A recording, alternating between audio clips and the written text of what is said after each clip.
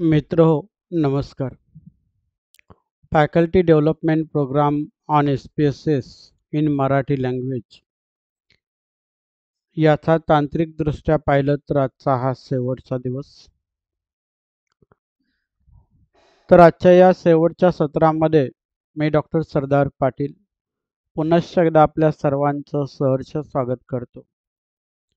आजच्या या सत्रामध्ये आपल्याला पॅरामेट्रिक आणि non parametric test using S P S S याच्यावर डेमॉन्स्ट्रेशन देण्यासाठी वैभववाडी महाविद्यालयातील सहाय्यक प्राध्यापक डॉक्टर किरण पाटील सर आज आपल्यासोबत आहेत.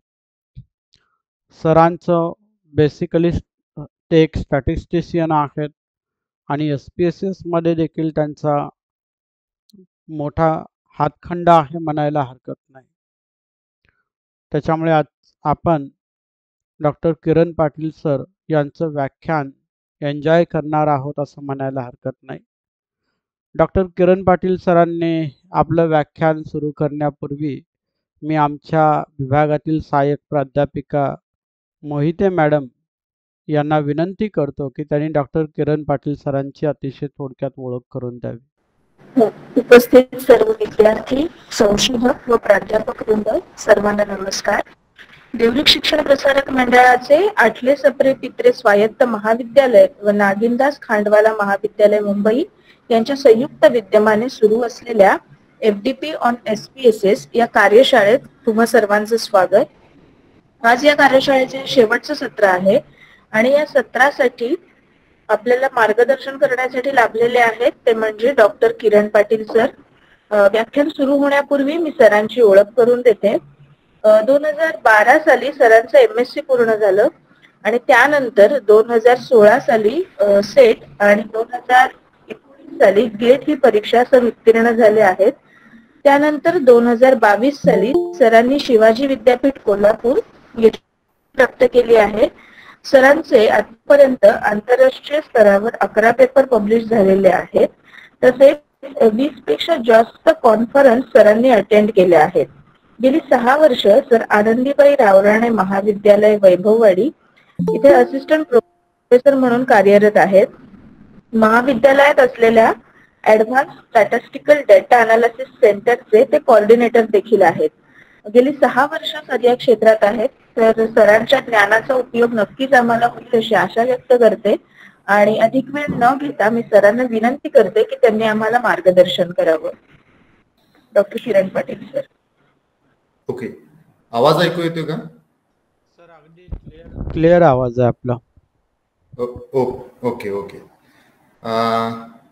प्रथमतः पाटील सर आणि पूर्ण देवरुख कॉलेज या एफ डी पी प्रोग्रामसाठी मला आमंत्रित केलं.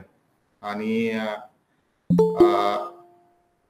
पॅरामेट्रिक आणि non parametric test in statistics आणि डेटा अनालिसिससाठी त्यांचा उपयोग कसा करायचा S P S S through हे आपण आज पाहणार आहोतच. पण स्टॅटिस्टिक्स म्हणलं तर थोडस आजपर्यंत माझं शिक्षण हे म्हणजे इंग्लिश मधून झाल्यामुळे काही गोष्टी जे शब्द वगैरे जे आहेत ते काही शब्द आपल्याला इंग्लिश मधून सोपे पडतील असं मला वाटतंय. पण शोध निबंध किंवा शोध प्रबंध ज्यावेळी तुम्ही मराठीमध्ये लिहिता त्यावेळी तुम्हाला त्याचं मराठीच मराठीतच जे भाषांतर केलेलं असेल तेच वापरावं लागेल. तर सध्या आपला फोकस हा शोध प्रबंध न लिहिणे हा नसून सध्या आपला फोकस हा फक्त एस पी एस एस वर आहे. So S P S S कसं वापरायचं काय वापरायचं कधी वापरायचं आणि त्यामध्ये कोणकोणत्या टेस्ट कशा करायच्या ते आपण बघणार आहोत. तर स्क्रीन शेअर करू का? येस सर प्लीज़ दिसते का सर स्क्रीन दिसते? हो सर हो. ओके जरा फक्त मूव होते का बघा स्लाइड मूव येस येस होते होते. ओके ओके सर काय इंटरप्शन झालं तर पडदिशी कॉल करा. नेटवर्कचा इश्यू काय असेल तर ओके शुअर सर शुअर हा ओके तर फ्रेंड्स आज आपण टी टेस्ट किंवा टेस्टिंग ऑफ वर जास्त भर देऊ. अॅनोवा आणि टी टेस्ट किंवा अॅनोवा जे वर्षानुवर्षे सोशल सायन्स आणि जे इंटरडिसिप्लिनरी म्हणेन मी. सोशल फक्त सोशल सायन्समध्ये न म्हणता अगदी मेडिकल इंडस्ट्रीयल कॉर्पोरेट सेक्टरमध्ये जिथे जाल तिकडे अगदी स्टॅटिस्टिकचा उपयोग सगळीकडे होतो आणि टेस्टिंगचा तर सगळीकडे होतोच होतो. आजकाल प्रत्येक विद्यार्थ्यांचे थेसिस ते एमपी एमफिलचे असू देत किंवा पीएचडीचे असू देत किंवा त्यांचे जे मास्टर्सचे जे प्रोजेक्ट्स असतात त्या प्रोजेक्टचे सुद्धा थेसिस जे आहेत ते ते देखील थेसिस कोणत्याही टेस्ट शिवाय कंप्लीट होत नाही आहेत तर टेस्ट म्हणजे काय किंवा टेस्ट नेमकी का करावी?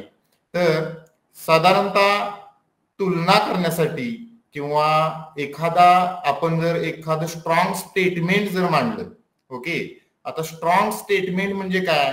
तर एक हायपोथेसिस म्हणतोय आपण गृहितक म्हणतोय ओके आता ते गृहितक मी सांगतोय म्हणून बरोबर आहे. हे आपण म्हणणं चुकीचं आहे. कारण का? कारण समाजात आपण ज्यावेळी जगत असतो इथे इकडून तिकडे वावरत असतो तर प्रत्येक विषय इथं गरजेचा आहे. म्हणजे फॉर एक्झाम्पल सरांचा जिओग्राफी विषय आहे.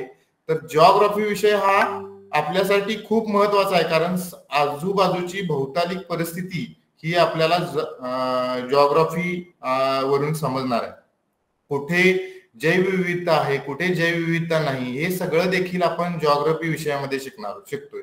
ओके तर प्रत्येक विषय असा निर्माण झालेला आहे म्हणेन की तो तो त्या विषयाची आपल्या रिअल लाईफमध्ये जगण्यासाठी खूप महत्वाची खूप महत्त्वाचा मानला जातो. त्याच प्रकारे मॅथमॅटिक्स आणि स्टॅटिस्टिक्स हे दोन्हीही एक भावाभावासारखे असे म्हणेन मी की ते सगळीकडे वापरले जातात आणि तितकेच स्ट्रॉंगली वापरले जातात जातात. तर आज जर का कोणत्याही एक कोणतंही एखादा आपण स्टेटमेंट करत असेल तर ते स्टेटमेंट प्रूव्ह करावं लागतं आपल्याला. त्याच वेळी आपल्याला ते स्टेटमेंट खरं आहे की खोटं आहे असं मान्य करावं लागतं. ओके बरोबर? तर त्या पद्धतीनं जे स्टेटमेंट आहे जे हायपोथिसिस आहे ते टेस्ट करण्यासाठी आपण टेस्टिंग ऑफ हायपोथिसिसचा वापर करणार आहोत. सध्याचा टी टेस्ट किंवा अनोवा म्हणा किंवा नॉन पॅरामेट्रिक अल्टरनेटिव्ह जे आहेत हे जे आहेत हे आपण साधारणतः पॉप्युलेशन कॅरेक्टरिस्टिक्स आता पॉप्युलेशन म्हणजे काय वगैरे ते सगळं मी तुम्हाला एक वन बाय वन सांगणार आहे ओके फक्त काय की पॉप्युलेशन कॅरेक्टरिस्टिक्स पॉप्युलेशन म्हणजे काय? तर एखादा आपण जो स्टडी करणार आहे त्या स्टडीमध्ये जेवढे काही ऑब्झर्वेशन असणार आहेत आपले म्हणजे एखाद्या पर कॅपिटा इन्कम आपण जर स्टडी करायचं झालं तर फॉर एक्झाम्पल मी काय करेन की महाराष्ट्रामधील लोकांचा पर कॅपिटा इन्कम जर स्टडी करायचा जर झाला तर महाराष्ट्रामधील जेवढे काही लोक आहेत आणि त्यांचा पर कॅपिटा इन्कम जो आहे त्याची लिस्ट म्हणजेच आपलं पॉप्युलेशन असणार आहे. जर पॉप्युलेशन जे आहे ते पॉप्युलेशन आपल्या स्टडीनुसार वेगवेगळं बदलू शकतं. आता तुम्ही म्हणाल जॉग्रॉफीमध्ये पॉप्युलेशनची डेफिनेशन वेगळी आहे इकडे वेगळी आहे तर नक्कीच वेगळी आहे. कारण का? सध्या आपण स्टडी करतोय त्याच्याशी रिलेटेड पॉप्युलेशन कुठलं आहे? तेच आपण कन्सिडर करणार आहोत. ओके तर हे जे आहे सेकंड स्लाइडवर मी आलेलो आहे आता. तर यामध्ये काही बेसिक कन्सेप्ट मी सांगणार आहे सुरुवातीला. त्यानंतर T test ANOVA अनोवामध्ये one way ANOVA multiple comparison two way ANOVA आणि नॉन पॅरामेट्रिक अल्टरनेटिव्ह आणि याचं सगळ्यांना पहिला अगोदर आपण डिस्क्रिप्शन बघू. आणि त्यानंतर वन क्लिक आन्सर आहे एसपीएसएसमध्ये. ते एसपीएसएस मधील वन क्लिक आन्सर ते आपण बघू. काय कसं करायचं डेटा कसा इन्सर्ट करायचा वगैरे ते सगळं आपण बघूया. सो वन बाय वन आपण जाऊ तिकडे. सो पहिला जो आहे तो रिव्ह्यू ऑफ द बेसिक कन्सेप्टमध्ये पॉप्युलेशनची डेफिनेशन मी आता तुम्हाला सांगितली की पॉप्युलेशन म्हणजे काय? की observation under study under study जे आपलं पर कॅपिटा इन्कम असेल तर per capita income of Maharashtra जर असेल तर पर कॅपिटा महाराष्ट्रामधील जेवढे काही व्यक्ती आहेत त्यांचा पर कॅपिटा इन्कम जो आहे तो पर कॅपिटा इन्कम म्हणजे आपण काय करणार आहोत? पॉप्युलेशन म्हणून घेणार आहोत. आता त्या पॉप्युलेशनचे पॅरामीटर्स म्हणजे काय? किंवा त्या पॉप्युलेशनच्या कॅरेक्टरिस्टिक्स म्हणजे काय? तर मी काय म्हणू शकतो माझा हा फोकस कशा कशावर असू शकतो? तर महाराष्ट्रामध्ये सपोज जर दोन कोटी किंवा अडीच कोटी लोकसंख्या जर असेल ओके अडीच कोटी व्हॅल्यूज लक्षात ठेवणं हे शक्य नाही आहे. म्हणून मी काय करू शकतो की महाराष्ट्रामधील ऍव्हरेज ऍव्हरेज म्हणजेच मीन ओके ऍव्हरेज म्हणजेच काय? मीन मीन किंवा average per capita income per person हा कॅल्क्युलेट करू शकतो. बरोबर आहे? सो ऍव्हरेज किंवा per capita income per person जे आहे ते म्हणजेच माझं त्या पॉप्युलेशनचं कॅरेक्टरिस्टिक्स झालं. ओके आता मीन आणि व्हेरियन्स किंवा ऍव्हरेज आणि व्हेरियन्स व्हेरियन्स म्हणजे काय? तर इकडे शेजारी येथे एक मी तीन डेटा सेट दिलेले आहेत. एक विराट कोहली सगळ्यांना वेल नोन आहेत. आणि सध्या आपल्याला काय गरज आहे की मीन आणि व्हेरियन्स म्हणजे नेमकं एक्झॅक्टली काय आहे हे समजून घ्यायचं म्हणून हे मी सिंपल एक्झाम्पल दिलेले आहेत. कोणीही अवघड तात्पुरतं जोपर्यंत कन्सेप्ट समजत नाही तोपर्यंत आपण तिकडे एखादा किचकट असं एक्झाम्पल आपण घ्यायला नको. म्हणून हे सिंपल एक्झाम्पल घेतलेलं आहे. आता बघा इथे येथे सांगितलेलं आहे की विराट कोहलीने तीन मॅच मध्ये स्कोर केलेला आहे. पहिल्या मॅच मध्ये हंड्रेड केलेला आहे दुसऱ्या मध्ये दुसऱ्या मॅच मध्ये नाईन्टी केलेला आहे तिसऱ्या मॅच मध्ये वन हंड्रेड अँड टेन केले टेन केलेला ओके तर या तीन स्कोरची आपण जर बेरीज केली तर ती बेरीज किती येते बघा? शंभर नव्वद आणि एकशे दहा म्हणजे तीनशे येते. बरोबर? आणि याचं ऍव्हरेज करायचं म्हटलं तर ऍव्हरेज म्हणजे काय? सरासरीची व्याख्या काय आहे? तर जेवढी ऑब्झर्वेशन आहे त्या ऑब्झर्वेशनची समेशन म्हणजे बेरीज करायची आणि डिवायडेड बाय त्याचा रेशिओ घ्यायचा. डिवायडेड बाय किती नंबर ऑफ ऑब्झर्वेशन आहेत? किती? तीन नंबर ऑफ ऑब्झर्वेशन आहेत म्हणून तीन त्याला डिवाइड करायचं. तर शंभर अधिक नव्वद अधिक एकशे दहा म्हणजे तीनशे. तीनशे भागिले तीन म्हणजे शंभर. बरोबर? म्हणजे याचं ऍव्हरेज किती आलं? शंभर आलं. आता महेंद्र सिंग धोनीचं पण मी थोडस उदाहरण इथं घेतलेलं आहे. पहिली मॅच मध्ये त्यांनी पन्नास स्कोर केला. दुसऱ्या मॅच मध्ये वन फिफ्टी केला तिसऱ्या मॅच मध्ये हंड्रेड केला. यांचं सुद्धा ऍडिशन केली किंवा बेरीज केली तर त्याला आपण किती येईल ती तीनशे स्कोर येईल आणि त्याचा ऍव्हरेज जर बघितलं तर तीन मॅच मध्ये हंड्रेड हंड्रेड हंड्रेड असं येईल. त्याच प्रकारे रोहित शर्मा देखील आपण एक खेळाडू घेतलेला आहे. त्या खेळाडूचं देखील आपल्याला काय केलेलं आहे आपण येथे दोनशे शंभर आणि झिरो असं तीन मॅच मधला स्कोर घेतलेला आहे. यांची सुद्धा तिघांची ऍडिशन केली तर आपल्याला काय मिळेल? येथे की तीनशे हा स्कोर मिळेल आणि तीनशे भागिले तीन म्हणजेच परत पुन्हा आपल्याला काय मिळेल? शंभर हे ऍव्हरेज मिळेल. म्हणजे ज्याचा अर्थ काय? विराट कोहलीचंही ऍव्हरेज किती आहे? हंड्रेड आहे. महेंद्र सिंग धोनीचंही ऍव्हरेज हंड्रेड आहे. रोहित शर्माचं देखील ऍव्हरेज हंड्रेड आहे ऍव्हरेज स्कोर म्हणून आपण फोर्थ मॅचला आपण डिरेक्टली कुणाला सिलेक्ट करायचं? हा मुख्य मुद्दा आहे. तिघांची ही ऍव्हरेज सेम आहे. त्यामुळं आपल्याला डिरेक्टली असं सांगू शकणार नाही की आपण की धोनीला सिलेक्ट केलं पाहिजे रोहितला सिलेक्ट केलं पाहिजे किंवा विराटला सिलेक्ट केलं पाहिजे. फोर्थ मॅचला तो प्लेयर काय झाला पाहिजे आपल्याला? खेळला पाहिजे. बरोबर आहे ना? सर त्याच्यासाठी आपल्याला काय करावं लागेल की त्या प्लेअरची कन्सिस्टन्सी बघावी लागेल. ओके? आता कन्सिस्टन्सी म्हणजे काय? तर तर त्या स्कोरमध्ये मॅक्झिमम डिफरन्स नसला पाहिजे. ओके ऑब्झर्वेशन मधला मॅक्झिमम डिफरन्स नसला पाहिजे. आता फॉर एक्झाम्पल जर रोहित शर्माचा जर विचार केला तर एका मॅच मध्ये झिरो आहे एका मॅच मध्ये दोनशे आहे. तर ह्याचा मॅक्झिमम डिफरन्स किती झाला? टू हंड्रेड झाला. याचा धोनीचा मॅक्झिमम डिफरन्स किती झाला? वन फिफ्टी फिफ्टी हंड्रेड झाला. आणि विराट कोहलीचा मॅक्झिमम डिफरन्स किती झाला? तर नव्वद आणि एकशे दहा म्हणजे ट्वेंटी झाला. लक्षात येते ओके सो कन्सिस्टन्सी ही कशावर डिपेंडेंट आहे तर व्हेरियन्सवर डिपेंडेंट आहे. आणि व्हेरियन्स काय सांगतो? तर एकमेकांच्या पासून किंवा मीन पासून मीन पासून तुमचं ऑब्झर्वेशन किती दूर आहे किती लांब आहे किती वेगळा आहे किती डिफ्लेक्ट झालेला आहे ते सांगतो. मग यामध्ये आपण नक्की सांगू शकतो की इथे विराट कोहलीचं जे मीन पासूनचे अंतर आहेत म्हणजे हंड्रेडपासून प्रत्येक ऑब्झर्वेशन खूप जवळ आहेत त्यामुळे विराट कोहली हा कन्सिस्टंट प्लेअर आहे म्हणून आपण डिरेक्टली तिथं काय सांगू शकतो. आपलं डिसिजन घेऊ शकतो. ओके सो मीन आणि व्हेरियन्स हे दोन मुख्य कॅरेक्टरिस्टिक्स आहेत आपल्या पॉप्युलेशनला रिप्रेझेंट करण्यासाठी. लक्षात येत आहे ओके सो हे पॅरामीटर्स म्हणून कन्सिडर करायचे आहेत. ओके आणि पॉप्युलेशन आता पॉप्युलेशनमध्ये मी आत्ताच सांगितलं तुम्हाला की दोन कोटी लोकांची स्टडी करत असताना दोन कोटी लोकांचा स्टडी करत असताना आपल्याला प्रत्येक ऑब्झर्वेशन हे लक्षात ठेवणं शक्य नाही आहे म्हणून आपण काय करतो? सॅम्पल सर्वे करतो. सॅम्पल सर्वे करण्यासाठी प्रत्येकाला आपण जे कोणी ज्यांची कोणाची पीएचडी झालेली आहे जे फॅकल्टी आहेत त्यांनी तर नक्कीच सर्वे वगैरे केला असेल त्यांचं डेटा अनालिसिस वगैरे केला असेल ओके तर क्वेश्चन डिफाईन केली असेल. क्वेश्चन डिफाईन केल्यानंतर पायलट सर्वे घेतला असेल. पायलट सर्वे घेतल्यानंतर किती सॅम्पल साईज सिलेक्ट करायची ते ठरवलं असेल. सॅम्पल साईज सिलेक्ट केल्यानंतर कुठलं सॅम्पलिंग टेक्निक वापरलेलं आहे ते सुद्धा पाहिलं असेल. बरोबर आहे ना?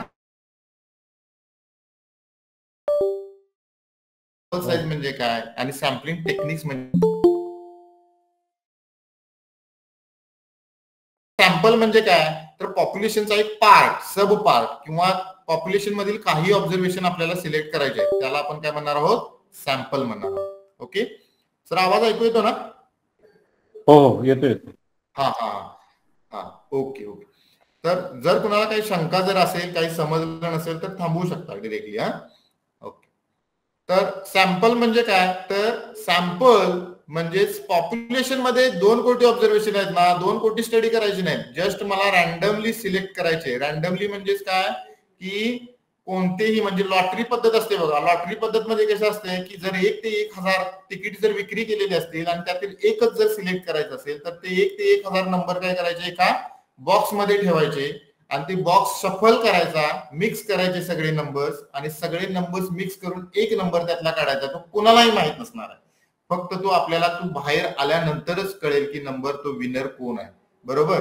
अशाच पद्धतीनं रॅन्डमली आपण वेग थोडस सॅम्पल थोडस म्हणतोय मी जेवढं आपल्याला सफिशियंट आहे तेवढं आपण सॅम्पल काय करू शकतो? सिलेक्ट करू शकतो. आणि ते सॅम्पल सिलेक्ट केलेली जी सॅम्पलची साईज असते साईज म्हणजे काय? फॉर एक्झाम्पल तुम्ही शंभर केलं दोनशे केला तीनशे केला त्या सॅम्पलची जी लेंथ असते ती लेंथ म्हणजेच काय?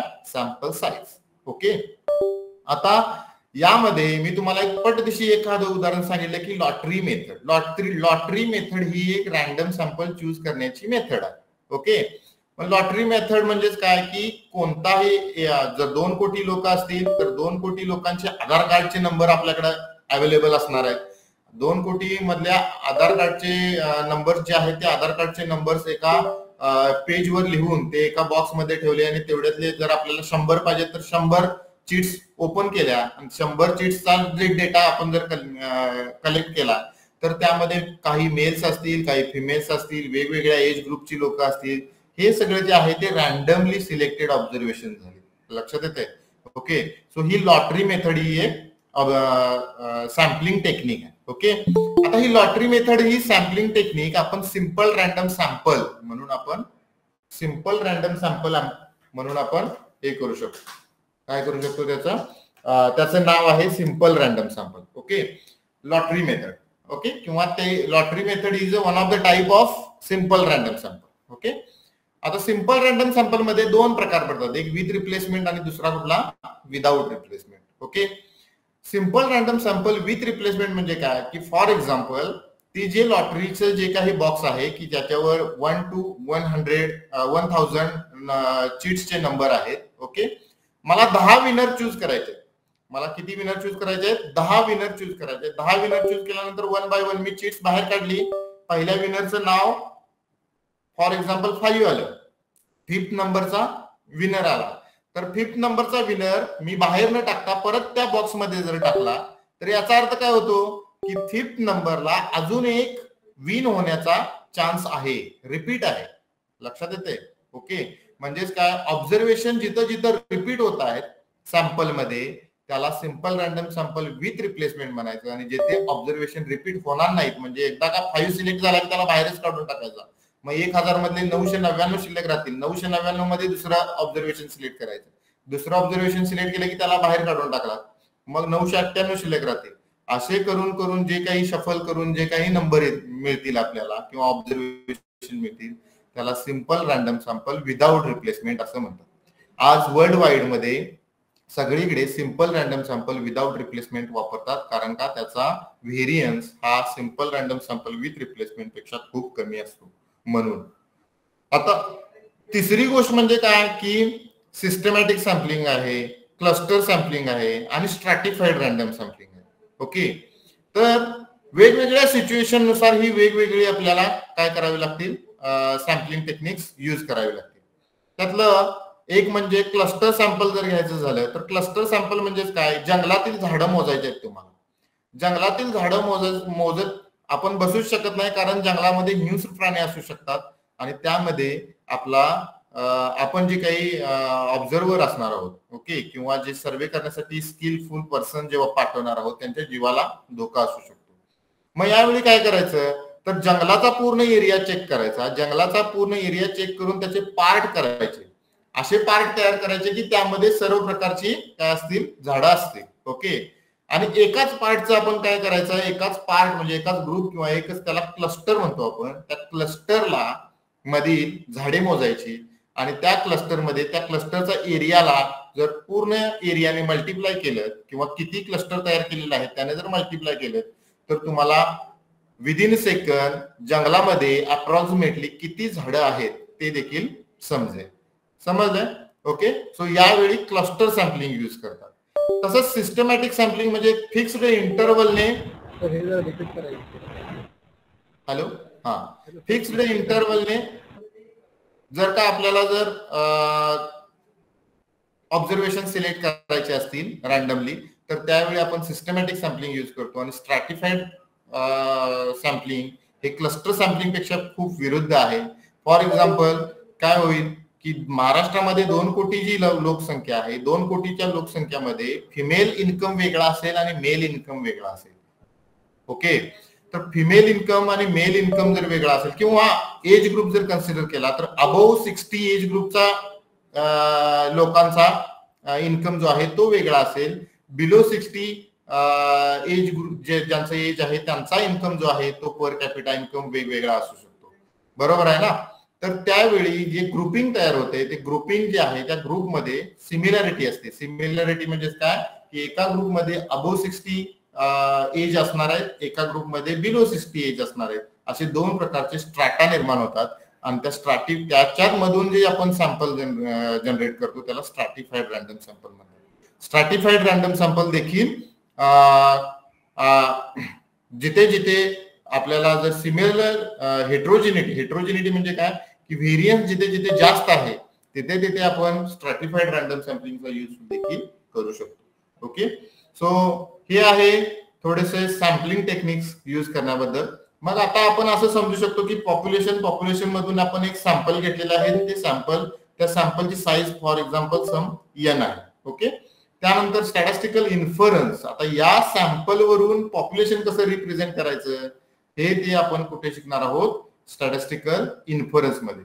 आता स्टॅटिस्टिकल इन्फरन्समध्ये पॉइंट एस्टिमेशन म्हणजे त्या सॅम्पलचा मीन काढला तर तो मीन किंवा व्हेरियन्स काढला तर एक सिंगल व्हॅल्यू काढतोय आपण. त्याला आपण पॉइंट एस्टिमेशन म्हणणार. इंटरवल एस्टिमेशनचं सगळ्यात उत्तम उदाहरण म्हणजेच काय? तर टुडेज टेम्परेचर आजचं टेम्परेचर काय आहे? हे आपण एक्झॅक्टली बत्तीस डिग्री तीस डिग्री किंवा अठ्ठावीस डिग्री सव्वीस डिग्री हे असं सांगू शकत नाही. कारण ते मॉर्निंगला वेगळा असणार आहे आफ्टरनूनला वेगळा असणार आहे इव्हिनिंगला वेगळा असणार आहे नाईटला वेगळा असणार आहे. बरोबर?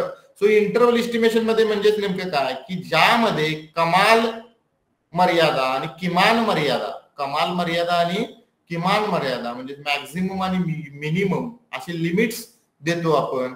त्यावेळी त्या तो जो इंटरवल आहे तो इंटरवल आपण फाइंड आउट करतो त्याला आपण इंटरवल इस्टिमेशन असं आणि तिसरा पार्ट आज आपण बघणार आहे तो म्हणजे टीओएच म्हणजे टेस्टिंग ऑफ हायपोथिसिस आता ह्या टेस्टिंग ऑफ हायपोथिसिसमध्ये हायपोथिसिस म्हणजे काय?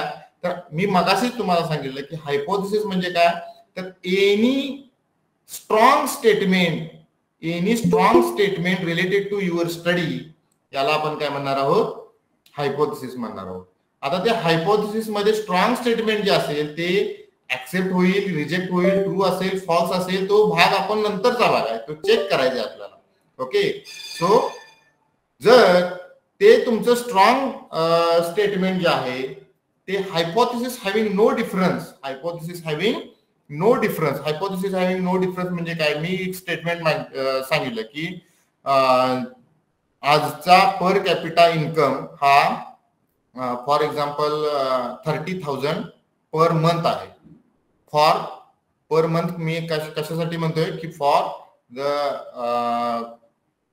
employed person for the employed person नाहीतर ते वेगळं असं स्टेटमेंट होईल. किंवा जर per capita income of Maharashtra जर कन्सिडर केला तर तो काही एक्स वाय झेड असेल तो जर तो मी काय म्हणेन की मी आता इथं एम्प्लॉईड पर्सनचा थर्टी थाउजंड म्हणलोय तर थर्टी थाउजंड हा जर कन्सिडर केला तर thirty thousand is equal to average income average income mean is equal to किंवा average is equal to thirty thousand हे हायपोथिसिस हॅव्हिंग नो डिफरन्स आता विथ डिफरन्स म्हणजे काय? की average is not equal to thirty thousand म्हणजे याचा just विरोध. मग ते एकतर लेस असेल किंवा ग्रेटर असेल. आता हे मी स्टेटमेंट मांडलेलं आहे. स्टेटमेंट मांडलेलं म्हणजेच काय ते करेक्ट असेल किंवा म्हणजे ऍक्सेप्ट होईल किंवा रिजेक्ट होईल तो भाग वेगळा. ओके सो नल हायपोथिस म्हणजे काय? तर एच नॉट त्याला म्हणतात. एच नॉट म्हणजे the hypothesis having no difference आणि अल्टरनेटिव्ह हायपोथिसिस म्हणजे अल्टरनेटिव्ह हायपोथिसिसला अशी काही वेगळी डेफिनेशन नाही. फक्त अल्टरनेटिव्ह हायपोथिसिस म्हणजे काय? The exactly opposite to null hypothesis null हायपोथिसिसच्या opposite जे काय असेल त्याला आपण काय म्हणणार आहोत? अल्टरनेटिव्ह हायपोथिसिस आता जे हायपोथिसिस मांडलेली जी आहेत ही हायपोथिसिस मांडलेली हायपोथिसिस जी आहेत ती आपण टेस्ट करणार आहोत टेस्ट स्टॅटिस्टिक्सने आता ते टेस्ट स्टॅटिस्टिक्स वेगवेगळं असू शकतं डेटाला जो डेटा जसं जसं तुमचा बदलेल तस तसं ते वेगवेगळं असू शकतं. ओके तर ती टेस्ट बघणार आहोत आपण अॅनोवा बघणार आहोत. त्यामध्ये टेस्ट स्टॅटिस्टिक्स म्हणजे काय आहे ते सुद्धा मी सांगेन. ओके त्यानंतर पॉसिबल एरर्स काय येऊ शकतात? आता टाईप वन एरर आणि टाईप टू एरर मी स्टेटमेंट काय घेतलेलं आहे की एखाद्या हॉस्पिटलमध्ये एक पेशंट आलेला आहे आणि तो पेशंट कशा संदर्भात टेस्ट करण्यासाठी आलेला आहे? हिपॅटायटिस बी म्हणजे फॉर एक्झाम्पल कावीळशी संबंधित काय करणार काय करणार आलेला आहे तो टेस्ट करायला आलेला आहे. त्या हॉस्पिटलच्या स्टाफने त्यांची टेस्ट केली ओके म्हणजे तो इन्व्हेस्टिगेटर असेल किंवा डॉक्टरने त्याची टेस्ट टेस्ट केली. टेस्ट केल्यानंतर असं दिसून आलं की त्याला कावीळ झालेली आहे. कावीळ झालेली आहे. त्याला जर ते सिमटम्स तसेच असतील आणि एक्झॅक्टली त्याची जर कावीळ झालेलीच जर असेल तर त्याला ते ट्रीटमेंट सुरू ठेवतील. अदरवाईज त्याची ट्रीटमेंट काय करतील? बंद करतील आणि दुसरे कुठले तरी त्याला सजेस्ट करतील की दुसरा टेस्ट करण्याचा बरोबर? तर टाईप वन एरर म्हणजे काय? की आपलं एच नॉट आपण काय सांगितलेलं आहे? की the patient is suffered from hepatitis B म्हणजे नल हायपोथिस म्हणजे काय? Null hypothesis having no difference no difference म्हणजे काय? की पेशंट तुमचा सफर्ड झालेला आहे स्पष्टपणे. सफर्ड फ्रॉम हिपॅटायटिस बी तो त्याला कावीळ झालेली आहे. आणि त्याच्या उलट म्हणजे काय की त्याची त्याला कावीळ झालेली नाही. म्हणून काय त्याला आपण एच वन किंवा अल्टरनेटिव्ह हायपोथिसिस म्हणतो त्याला. ओके मग आता टाईप वन एरर आणि टाईप टू एरर म्हणजे काय येतं की इन्व्हेस्टिगेटरनं काय केलेलं आहे? ऍक्च्युली त्याला कावीळ झालेली आहे. ऍक्च्युअल त्याला काय झालेलं आहे? कावीळ झालेलं आहे. पण इन्व्हेस्टिगेटर सांगतोय की त्याला कावीळ झालेली नाही. इन्व्हेस्टिगेटर काय सांगतोय? त्याला कावीळ झालेली नाही. हा एक टाईपचा एरर येऊ शकतो. आणि दुसरा एक एरर काय येऊ शकतो? की त्याला कावीळ झालेलीच नाही पण इन्व्हेस्टिगेटर सांगतोय की त्याला कावीळ झालेली आहे. ओके सो ही एक कंडिशन अशी असू शकते. ओके सो हे जे एरर्स पॉसिबल एरर्स आहेत when the when the null hypothesis is sorry type one error म्हणजे काय? तर investigator rejects null hypothesis if it but it is actually true म्हणजे त्याचं कावीळ झालेली आहे. पण इन्व्हेस्टिगेटर सांगतोय की त्याला कावीळ झालेली नाही. त्याला काही ट्रीटमेंटची गरज नाही. असं जर सांगत असेल तर तो टाईप वन एरर झाला. आणि जर त्या uh, पेशंटला जर कावीळ झालेली नसताना देखील uh, इन्व्हेस्टिगेटर सांगतोय की कावीळ झालेली आहे तर तो टाईप टू एरर झाला ओके हे मिसमॅचिंग किंवा मिस क्लासिफिकेशन जे आहे त्या मिस क्लासिफिकेशनला टाईप वन एरर आणि टाईप टू एरर असं म्हणतात. आता इमॅजिन करा टाईप वन एरर आणि टाईप टू एरर यामध्ये मोर सिरियस कोण असेल? एखादा पेशंट कावीळ झालेले आहे आणि त्याला आपण सांगतो की कावीळ झालेली नाही. ओके म्हणजे ट्रीटमेंटच देत नाही. आणि दुसरा एक पेशंट आहे की त्याला कावीळ झालेली नाही आहे आणि त्याला ट्रीटमेंट देतो एखादा हेल्दी पर्सन असेल त्याला ट्रीटमेंट दिली काय फरक पडणार नाही. पण जर एखादा कावीळ झालेला पेशंट असेल त्याला ट्रीटमेंट मिळाली नाही तर काय होईल? तो मोर सिरियस आहे म्हणून टाईप वन एरर हा मोर सिरियस असतो. त्यानंतर लेवल ऑफ सिग्निफिकन्स हा एक पार्ट येतो. तर लेवल ऑफ सिग्निफिकन्स म्हणजे काय? तर रिस्क आपण एक्झॅक्टली हंड्रेड पर्सेंट कॉन्फिडन्स कॉन्फिडन्सने कोणताही हे सांगू शकत नाही. रिझल्ट सांगू शकत नाही. पण आपण ninety five percent ninety six percent ninety nine percent confidently आपण सांगू शकतो. या जगामध्ये कोणतीही सर्टन थिंग नाही. अनसर्टन अनसर्टनिटी कोणत्या क्षणी येईल सांगता येत नाही. म्हणून हा लेवल ऑफ सिग्निफिकन्स अगदी one percent five percent minimum five percent सगळीकडे घेतात ओके त्याला लेवल ऑफ सिग्निफिकन्स म्हणतात. आणि याच्या विरुद्ध कॉन्फिडन्स लेवल म्हणतो आपण. कॉन्फिडन्स लेवल म्हणजेच ती नाईन्टी फाईव्ह पर्सेंट किंवा ninety nine percent above ninety percent आपण कन्सिडर करतो. ओके आणि या लेवल ऑफ सिग्निफिकन्स किंवा टेस्ट स्टॅटिस्टिक्स वरून आपण क्रिटिकल व्हॅल्यू काढतो किंवा त्याची पी व्हॅल्यू काढतो. त्या पी व्हॅल्यूला आपण त्या पी व्हॅल्यूवरून जर P value less than point naught five म्हणजे पॉईंट नॉट फाईव्ह काय म्हणतो level of significance P value जर लेवल ऑफ सिग्निफिकन्सपेक्षा कमी असेल तर रिजेक्ट हायपोथिसिस करणार आहे. आणि पी व्हॅल्यू जर लेवल ऑफ सिग्निफिकन्सपेक्षा जास्त असेल तर ऍक्सेप्ट हायपोथिसिस करणार आहे. ओके? तर याच्यानंतर आपण पाटील एक्झॅक्टली पाटील सर हा दिवटे सरांनी मध्ये जरा हात वर केला होता. त्यांचा क्वेश्चन आता मध्ये घेऊया की शेवटी घेऊया? चालेल चालेल. काय प्रॉब्लेम नाही सर. घेऊ शकतो आपण. दिवटे सर काय प्रश्न आहे? मला एक विचारायचं होतं सर. हॅलो. हा सर. बोला. नल नल हायपोथेसिस जे आपण मांडतो हा. नल नल हायपोथेसिस तर ते कायम निगेटिव्ह राहतं का? नल हायपोथिसिस निगेटिव्ह नाही.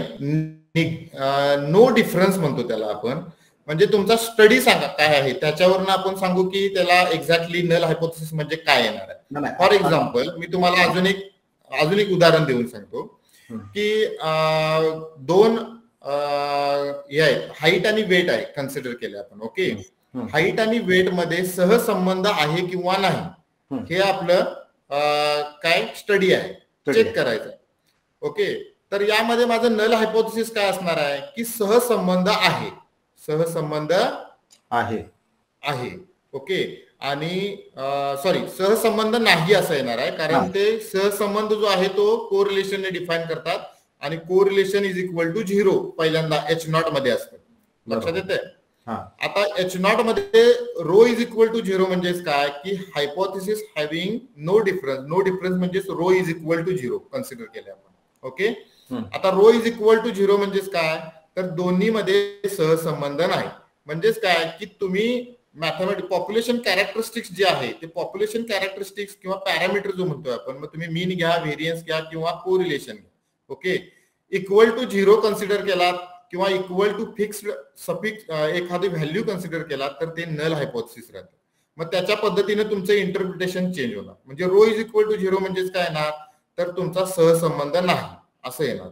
ओके आणि ज्यावेळी rho is not equal to zero म्हणजे एक तर रो तुमचा झिरो पेक्षा कमी असेल किंवा रो तुमचा काय असेल?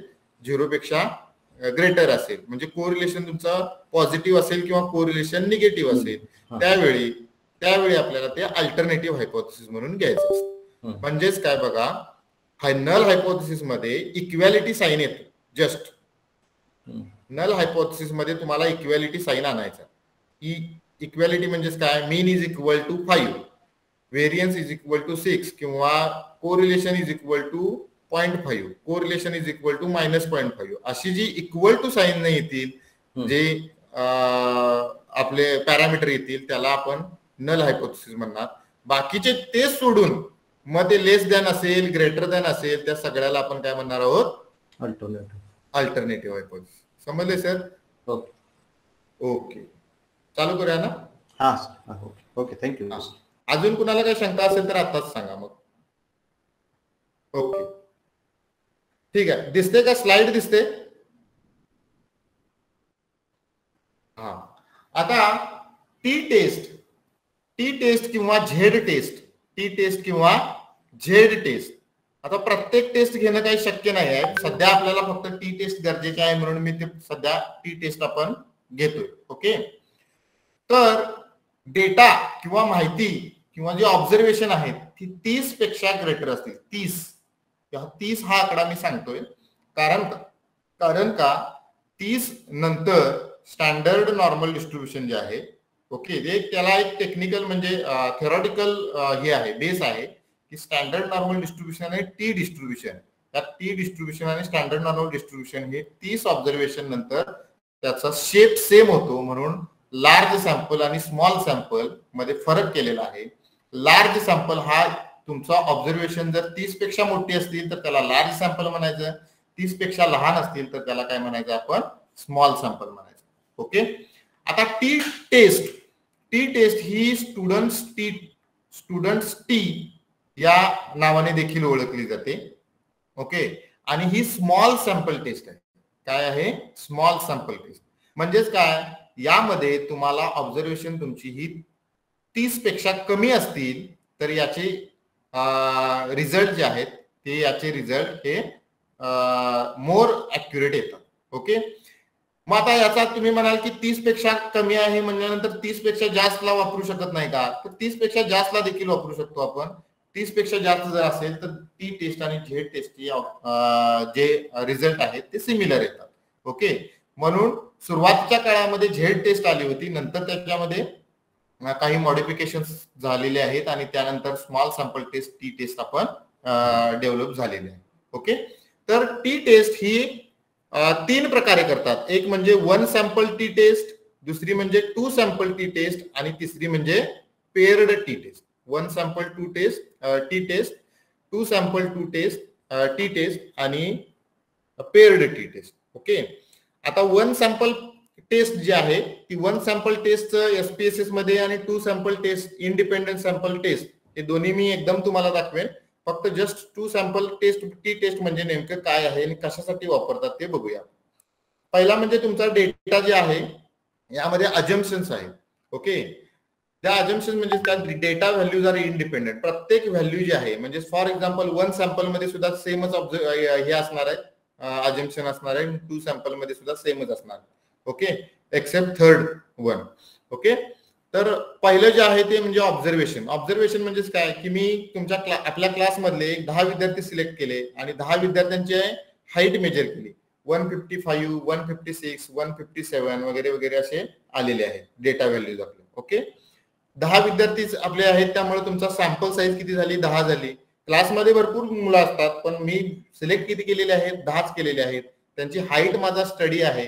ओके तर यामध्ये दहा वेगवेगळे विद्यार्थी आपण सिलेक्ट केलेले आहेत. म्हणून ही दहा वे दहा विद्यार्थ्यांचा एकमेकांशी काहीही संबंध नसतो. म्हणून त्याला आपण काय म्हणतो की डेटा व्हॅल्यूज आर इंडिपेंडेंट पहिली गोष्ट. दुसरी गोष्ट म्हणजेच काय की data values are randomly sample from to normal population आता नॉर्मल पॉप्युलेशन म्हणजे काय?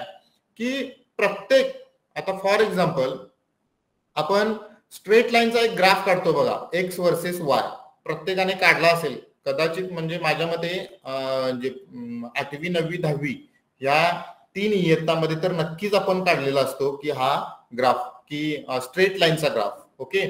स्ट्रेट लाईनचा ग्राफ म्हणजेच काय? प्रत्येक दोन ऑब्झर्वेशन जर कन्सिडर केली तर ती दोन ऑब्झर्वेशन आपण मॅथमॅटिकली काय करू शकतो? त्यांना एक नेचर जे आहे मॅथमॅटिकल एक्सप्रेशनचा ओके त्याला कर्वी कर्व असेल किंवा ते काहीतरी फंक्शन असेल त्याला स्ट्रेट लाईन किंवा लिनियर फंक्शन पण म्हणतो आपण. Y is equal to M X plus C M म्हणजे स्लोप असतो सी म्हणजे इंटरसेप्ट असतो वगैरे वगैरे. ओके?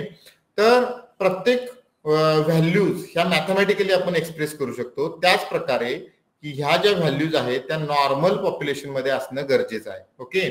आता नॉर्मल पॉप्युलेशन म्हणजे काय? त्याचे ऍप्लिकेशन कसे कसे आहेत? काय आहेत? वगैरे ते सगळं जे आहे ते सगळ्या त्याच्यासाठी अजून एक लेक्चर होईल. पण सध्या मी तुम्हाला नॉर्मल पॉप्युलेशन म्हणजे एवढंच सांगेन की ज्याच्या फिजिकल ऑब्झर्वेशन आहेत म्हणजे हाईट म्हणजे काय? हाईट म्हणजे फिजिकल ऑब्झर्वेशन आपल्याकडे आहे. कॅटेगरिकल नाही लिकर्ड स्केल नाही. लिकर्ड स्केल किंवा मेल फिमेल वन झिरो वगैरे असं नाही तर काय? फिजिकल ऑब्झर्वेशन जर आहे तर हायली चान्सेस असतात की ते नॉर्मली डिस्ट्रीब्युटेड असतात. ओके तर आपला सर्वांचा डेटा जो आहे तो एक तर लिकर्ड स्केलवर असतो किंवा एज वेट वगैरे जर असे जर रिस्पॉन्स टेम्परेचर किंवा प्रेशर किंवा अजून पर कॅपिटा इन्कम जर आपण कन्सिडर केला फॅमिली इन्कम ओके? तर यांचा जो हे आहे काय म्हणतो मी? ग्राफ जो आहे तो तो तर तो ग्राफ काय करू शकतो आपण? किंवा ज्या व्हॅल्यूज आहेत त्या व्हॅल्यूज आपण ग्राफच्या द्वारे दाखवू शकतो ओके? किंवा मॅथमॅटिकल एक्सप्रेशनमध्ये आपण एक देऊ शकतो ओके तर त्याला आपण नॉर्मल पॉप्युलेशन आपण कन्सिडर करूया की काहीतरी X Y Z normal population आहे ओके आणि मी मगाशीच तुम्हाला सांगितलं की तीन वेगवेगळे खेळाडू सांगितले त्या तीन वेगवेगळ्या खेळाडूंचा मीन सेम होता पण व्हेरियन्स वेगवेगळा होता. तर तसं न करता आता आपल्याला व्हेरियन्स सेम पाहिजे आणि ही टेस्ट आपण काय करणार आहोत? तर डिफरन्स बिटवीन मीन टेस्ट करणार आहोत. आता डिफरन्स बिटवीन मीन जर टेस्ट करायचा असेल किंवा मीनची स्पेसिफिक व्हॅल्यू आहे की नाही ही टेस्ट करायची असेल तर टी टेस्ट वापरायची. स्पेसिफिक व्हॅल्यू चेक करत असताना वन सॅम्पल होते आणि ज्यावेळी ती टू सॅम्पल टेस्ट येते त्यावेळी ती टू सॅम्पल म्हणजे त्याचा डिफरन्स आपण चेक चेक करतो. तर याची वेगवेगळे एक्झाम्पल कोणकोणते आहेत? तर comparing monthly earning of workers in two cities दोन सिटी आहेत ओके फॉर एक्झाम्पल मुंबई आणि दिल्ली कन्सिडर करूया. आणि त्यांचे मंथली अर्निंग म्हणजे प्रत्येक महिन्याला ते किती कमवतात? त्यांचं वेजेस म्हणूया आपण. पगार किती असेल प्रत्येक महिन्याचा? ते बघितलेलं आहे. ते कंपेअर करू शकतो. आता ह्या दोन वेगवेगळ्या सिटीज आहेत. दोन वेगवेगळ्या सिटीज आहेत. सगळी लोक वेगवेगळी आहेत.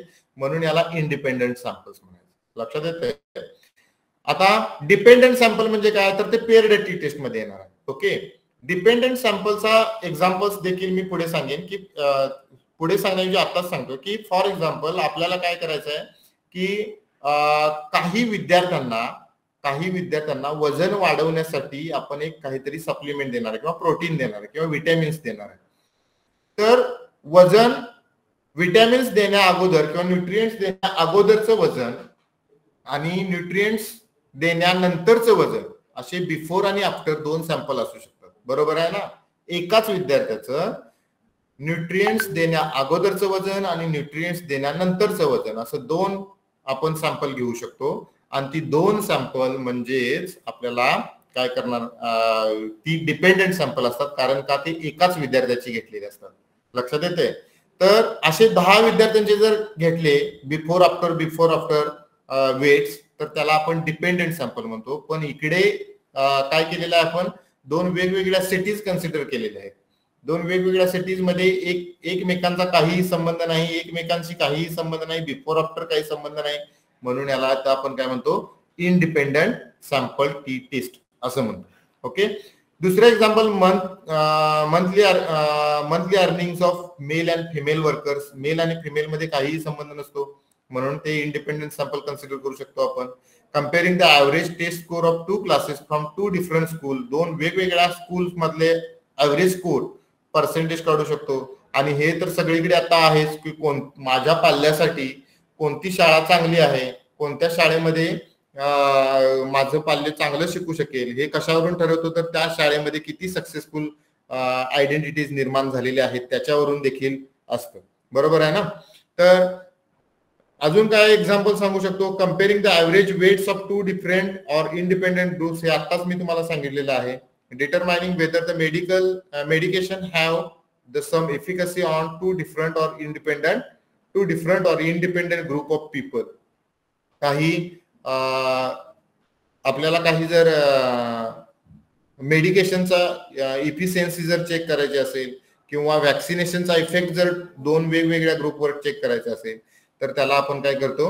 टी टेस्ट वापरतो आता नॉन पॅरामेट्रिककडे कधी जायचं? जर माझ्याकडे नॉर्मल पॉप्युलेशन हे जर नसेल नॉर्मल पॉप्युलेशनमध्ये जर माझा डेटा नसेल माझा डेटा जर लिकर्ड स्केलमध्ये असेल माझा डेटा जर कॅटेगरिकल व्हॅल्यूज असतील माझ्या डेटामध्ये काउंट व्हॅल्यूज जर असतील तर आपण नॉन पॅरामेट्रिक टेस्टकडे जायचं. फक्त एवढाच फरक. फरक एवढाच आहे की तो पॅरामीटर्स नॉन पॅरामेट्रिक आणि नॉन पॅरामेट्रिक यामध्ये कोणतंही पॅरामेट्रिक आपण डिस्ट्रीब्युशन कन्सिडर करत नाही आणि यामध्ये पॅरामेट्रिक डिस्ट्रीब्युशन कन्सिडर करतो. थेरॉटिकल पार्ट वेगळा आहे. फक्त काय?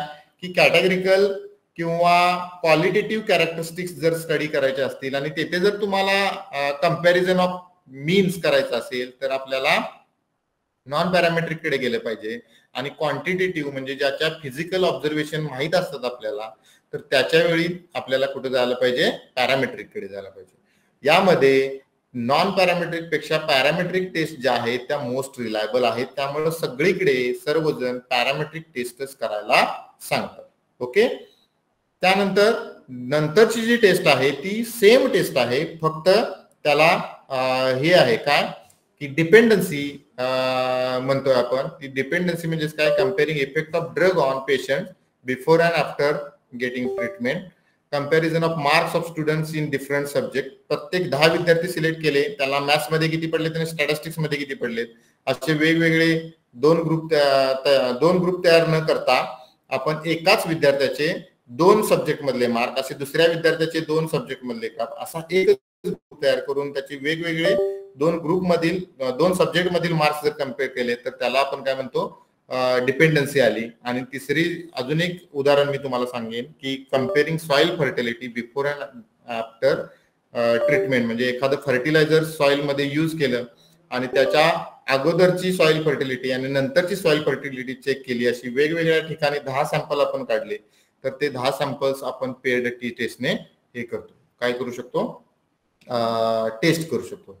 आता टी टेस्ट जे आहे ते टी टेस्ट आपण एसमध्ये कसं करायची ते बघूया. ओके तर पहिला माझा डेटा आहे. तो पहिला डेटा आहे मेल आणि फिमेल वर्कर्सचा ओके तो फर्स्ट वन मी पुढची एक स्लाइड घेतो. एक्झाम्पल इथे एक दिलेला आहे. ओके सो एक्झाम्पल काय आहे? Daily earnings in areas of randomly selected workers from particular city okay city city typo year are given below आता फिमेलचं डेली अर्निंग दिलेलं आहे आणि एट फिमेल वर्कर सिलेक्ट केलेले आहेत. आणि मेलचं सुद्धा आपण काय केलेलं आहे? डेली अर्निंग दिलेलं आहे आणि six female six male worker select केलेले आहेत. हा डेटा मी एसपीएसएसमध्ये अगोदरच टाईप करून घेतलेला आहे कारण का थोडासा वेळ आपल्याकडे खूप कमी येऊ शकतो. म्हणून मी इथं बघा फिमेलचा डेटा इथं कॉपी केलेला आहे आणि इथं मेलचा डेटा कॉपी केलेला आहे. हे एसपीएसएस च सर दिसते का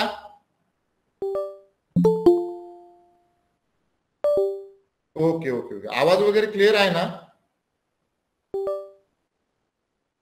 हा हा तर बघा याच्या अगोदर तुम्हाला डेटा म्हणजे काय? डेटा व्ह्यू म्हणजे काय? व्हेरिएबल व्ह्यू म्हणजे काय? एसपीएसएस म्हणजे काय? अगदी सगळं बऱ्याच लेक्चरमध्ये झालेलं असणार आहे आणि आपण आता सगळ्यात शेवटच्या टप्प्याला आलेलो आहे आणि तो महत्त्वाचा टप्पा.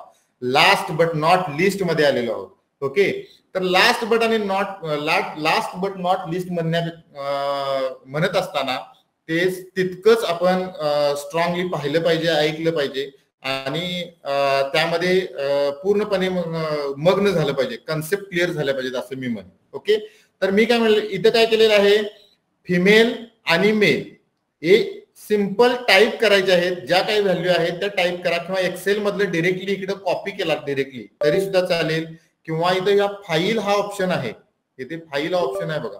त्यामध्ये इम्पोर्ट डेटा केला तर एक्सेलची डायरेक्ट शीट तुमची जी आहे तुमचा डेटा पूर्ण इकडं एक्सेल मध्ये काय करतो ते डायरेक्ट घेतं इम्पोर्ट करतो. ओके तर मी जस्ट काय केलेलं आहे आपला जर टी टेस्ट समजण्यासाठी दोन इंडिपेंडेंट ग्रुपमध्ये ओके किंवा वन ग्रुपमध्ये.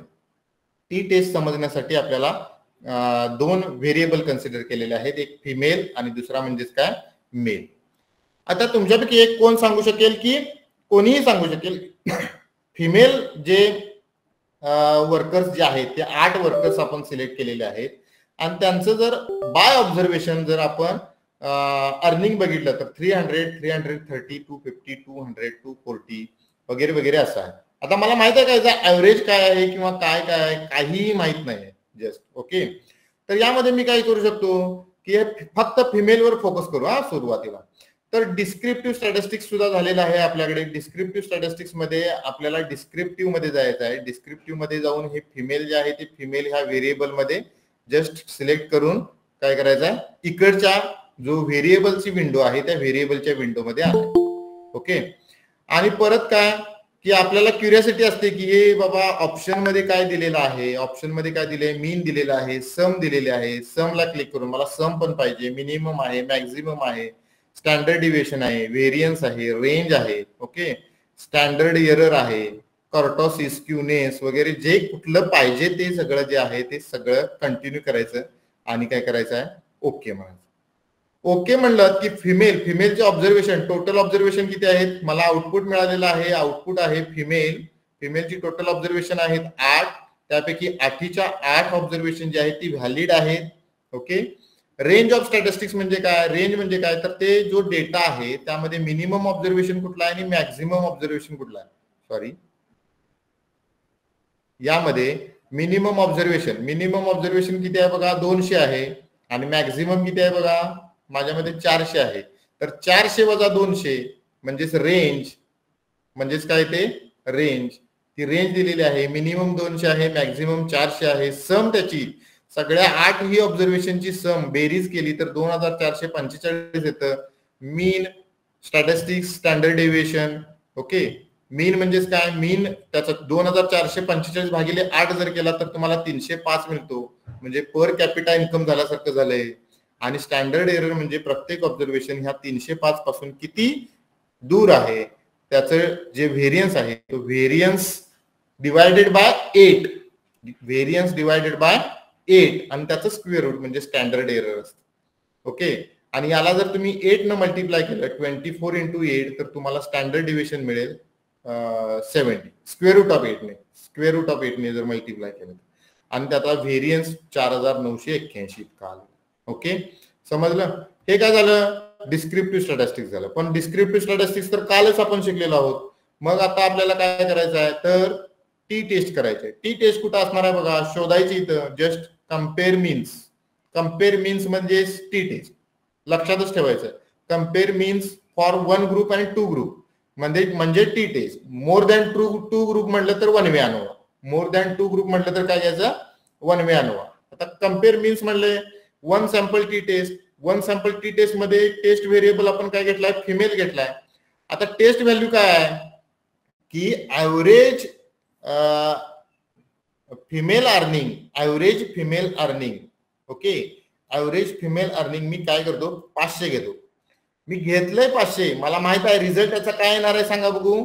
यामध्ये कुणाचंच पाचशे नाही आहे. चारशेच्या पुढे तर कोणच नाही आहे. पण मी टेस्ट व्हॅल्यू मध्ये काय घेतलंय? पाचशे घेतले. म्हणजे माझं हायपोथिसिस फॉल्स होणार आहे. माझं हायपोथिसिस फॉल्स होणार आहे मला माहीत आहे. ओके पण हे जे सॉफ्टवेअर आहे ते सॉफ्टवेअर करेक्ट आन्सर देते का ते मला चेक करायचं. ओके सो ऑप्शनमध्ये परत तुम्हाला इथं कॉन्फिडन्स इंटरवल मग असं सांगितलं की लेवल ऑफ सिग्निफिकन्स जे आहे कॉन्फिडन्स लेवल पंच्याण्णव टक्के आपण घेतली. याचा अर्थ लेवल ऑफ सिग्निफिकन्स किती घेतली? Five percent exclude cases by analysis consider करा. आणि कंटिन्यू म्हणा आणि ओके म्हणा. ओके म्हणल्यानंतर तुम्हाला इथं टी वन सॅम्पल टी टेस्टचा रिझल्ट येईल. आता हे वन सॅम्पल टी टेस्टचा रिझल्ट काय आलाय बघा? फिमेल घेतलेले आहे त्याचं टी टेस्ट स्टॅटिस्टिक घेतलेलं आहे. टेस्ट स्टॅटिस्टिक्स म्हणजे काय आलेलं आहे त्याचं? त्याचा मीन जो आहे मीन किती आहे बघा? तीनशे पाच पॉईंट बासष्ट पन्नास आहे. ओके त्या तीनशे पाच पॉईंट बासष्ट पन्नास मधून पाचशे वजा केलेला आहे. काय वजा केलेला आहे त्यांनी. पाचशे वजा केलेला आहे. आणि स्टँडर्ड एरर जो आहे ओके स्टँडर्ड एरर हा चोवीस पॉईंट पंच्याण्णव त्याने त्याला काय केलेला आहे? जस्ट डिवाइड केलेला आहे. त्यामुळं हा तीनशे पाच वजा पाचशे हे निगेटिव्ह व्हॅल्यू येणार आणि ती व्हॅल्यू काय आलेली आहे? Minus seven point seven eight nine values total values फिमेलच्या किती आहेत? आठ व्हॅल्यूज आहेत. आणि या आठ व्हॅल्यू मध्ये degrees of freedom degrees of freedom म्हणजे काय? इंडिपेंडेंट ऑब्झर्वेशन आपण कन्सिडर करतो. आणि ती इंडिपेंडेंट ऑब्झर्वेशन आपल्याला एक वजा करायचं जस्ट ते किती आहेत? सात आहेत. ओके? आणि या टी टेस्ट आणि डिग्रीज ऑफ फ्रीडम वरून आपल्याला ही पी व्हॅल्यू किंवा क्रिटिकल व्हॅल्यू फाइंड आउट करता येते. ओके आणि ती पी व्हॅल्यू आपली काय आलेली आहे? वन साइडेडची लेस दॅन पॉईंट नॉट म्हणजे झिरोच आलेली आहे. झिरो म्हणजेच काय? झिरो म्हणजेच काय? जर तुमची P value less than level of significance आली तर त्याला आपण रिजेक्ट हायपोथिसिस म्हणजे आपला हायपोथिसिस रिजेक्ट झालंय हायपोथिसिस काय होतं? की average earning is equal to five hundred so average earning आपलं फाईव्ह हंड्रेड नाहीच आहे. ओके तर मी काय करू शकतो? Average earning is equal to three hundred हंड्रेडला आपण आता काय करूया? टेस्ट करूया. So analysis compare means one sample T test female इथं ऑलरेडी आहे. पाचशेच्या ऐवजी मी किती ला चेक करणार आहे? तीनशेला करणार आहे. आणि तीनशेला क्लिक केल्यानंतर परत आपल्याला ऑब्झर्वेशन मिळेल. आता मात्र इथं काय आलेलं आहे? तीनशे पाच वजा तीनशे जर केलं तर ती पॉझिटिव्ह आली आणि याची बघा पी व्हॅल्यू किती आलेली आहे? पॉईंट एट जवळजवळ. पॉईंट एट म्हणजे जवळजवळ तुम्ही ब्याऐंशी टक्के सांगू शकता की आपले जो हे आहे जो ऍव्हरेज अर्निंग ऑफ फिमेल आहे ती average earning of female approximately equal to किती आहे? थ्री हंड्रेड आहे. आणि यामध्ये इथं आपण डिरेक्टली सांगू शकतो की त्याची अर्निंग जी आहे ती अर्निंग थ्री हंड्रेडच्या आसपास आहे आणि ते आपलं हायपोथिसिस मांडलेलं आहे ते ट्रू आहे. ओके आता आपल्याला काय करायचं आहे की दोन वेगवेगळे म्हणजे मेल एक डेटा कन्सिडर केलेला आहे आणि दुसरा डेटा कन्सिडर केलेला आहे फिमेल मेल एक डेटा कन्सिडर केलेला आहे आणि दुसरा डेटा कन्सिडर केलेला आहे काय फिमेल तर दोन ग्रुपमध्ये जर आपल्याला अनालिसिस करायचं असेल तर बघा जस्ट म्हणजे थोडस एसपीएसएसमध्ये थोडीशी ऍडजस्टमेंट करावी लागते. म्हणजेच काय? की ग्रुप वन म्हणजे हे मेल आहे मेल फिमेल आहे आठ व्हॅल्यूज आहेत यामध्ये. बघा तीनशे पासून चारशे पर्यंत. तीनशे पासून चारशे पर्यंत. आणि ग्रुप टू म्हणजे फिमेल आणि इथं शेजारच्या कॉलममध्ये पाचशे पासून पाचशे ऐंशी पर्यंत. म्हणजेच हा सेकंड ग्रुप आहे. म्हणून ज्यावेळी टू सॅम्पल टी टेस्ट करतो तर त्यावेळी कंपेअर मीन्समध्ये जायचं. Compare मीन्समध्ये two sample T test two sample T test मध्येच कुठे येतं ते? Independent sample T test independent sample T टेस्टमध्ये फिमेल घ्यायचा टेस्ट व्हेरिएबल म्हणून आणि ग्रुप व्हेरिएबल म्हणून काय घ्यायचा आहे आपल्याला? ग्रुप घ्यायचा आहे. सॉरी फिमेल नाही. फिमेल नाही फिमेल सॉरी हा. रिस्पॉन्स रिस्पॉन्स म्हणून काय घ्यायचा आहे? टेस्ट व्हेरिएबल म्हणून घ्यायचा आहे. आणि ग्रुप म्हणून काय घ्यायचा आहे? ग्रुपिंग व्हेरिएबल म्हणून ग्रुप घ्यायचा आहे. ग्रुपिंग व्हेरिएबल म्हणून ग्रुप घ्यायचा आणि ग्रुप डिफाईन करायचा आहे. ग्रुप वन म्हणजे वन ग्रुप टू म्हणजे टू ग्रुप वन म्हणजे वन आणि ग्रुप टू म्हणजे टू तिथं लिहायचं स्पष्टपणे. हा रिस्पॉन्स जो आहे इथं रिस्पॉन्स दिलेला आहे तो रिस्पॉन्स आपण वेगळ्या पद्धतीने घेतला आता एका खाली एक घेतलाय आणि एकाला ग्रुप ग्रुप वन म्हणले एकाला ग्रुप टू म्हणले. ओके परत इथं ऑप्शनमध्ये जायचं. काय बघायचं? Ninety five percent level of significance continue म्हणला. इस्टिमेट इफेक्ट साईज वगैरे काय गरज नाही. पण बघा तुम्हाला जर पाहिजे असेल तर घ्या. आणि टी टी टेस्टचे रिझल्ट आपल्याकडे आले. आता टी टेस्ट जे आहे ते टी टेस्टचे रिझल्ट जे आहेत ते रिझल्ट जे आहेत त्यामध्ये व्हेरियन्स इक्वल आपण कन्सिडर केला होता अज्युम केला होता ओके इक्वल व्हेरियन्स अज्युम केल्यानंतर इक्वल व्हेरियन्स अजून केल्यानंतर टी टेस्ट टेस्ट स्टॅटिस्टिक्स इथं येतं त्याच्या डिग्रीज ऑफ फ्रीडम आता आठ आणि आठ आणि सहा चौदा होतात ना. मग दोन सॅम्पल आहेत दोन सॅम्पल आहेत म्हणून दोन डिग्रीज ऑफ फ्रीडम चौदा मधून वजा करायच्या म्हणजे बारा येतील. आणि त्यांची पी व्हॅल्यू चेक करायची. वन साइडेड पी व्हॅल्यू आणि टू साइडेड तर टू साइडेड पी व्हॅल्यू म्हणजे काय? मीन आर नॉट इक्वल आपण कन्सिडर केलं तर ते टू साइडेड झालं. आणि वन साइडेड म्हणजे काय? Mean of male is greater than mean of female हे एका साईडचं झालं. Mean of female is greater than may mean of male हे दुसऱ्या साईडचं झालं. असं वन साइड जर कन्सिडर केलं तर वन साइडला पॉईंट नॉट वन आणि टू साइडेडला सुद्धा पॉईंट नॉट वन आणि यामध्ये आपण डिरेक्टली असं सांगू शकतो की या दोन्हींचा जो अर्निंग आहेत मेल आणि फिमेलचे ते वेगवेगळे आहेत आणि ते इथं आपल्याला दिसून येतातच. ते इथं आपल्याला दिसून येतात. ओके तिसरं एक एक्झाम्पल मी कशाचं घेतलेलं आहे बघा? इथे घेतलेलं आहे बिफोर आणि आफ्टर घेतलेलं आहे. बिफोर आणि आफ्टर म्हणजेच काय? एखादा आठ स्टुडंट सिलेक्ट केलेले आहेत. त्या आठ स्टुडंट्सचं बिफोर ट्रीटमेंट वेट आणि आफ्टर ट्रीटमेंट वेट किंवा आठ व्यक्ती कन्सिडर केलेल्या आहेत असं समजूया आपण.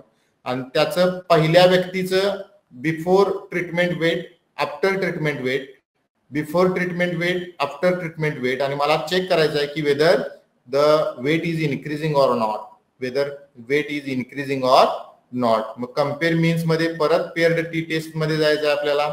पेअर्ड टी टेस्टमध्ये काय करायचं आहे बघा बिफोर म्हणजे पहिला व्हेरिएबल कन्सिडर करायचा इथं उचलून फक्त इकडे जस्ट आणायचा बिफोर आणि आफ्टर म्हणजे दुसरा व्हेरिएबल कन्सिडर करायचा आहे व्हेरिएबल टू झाला?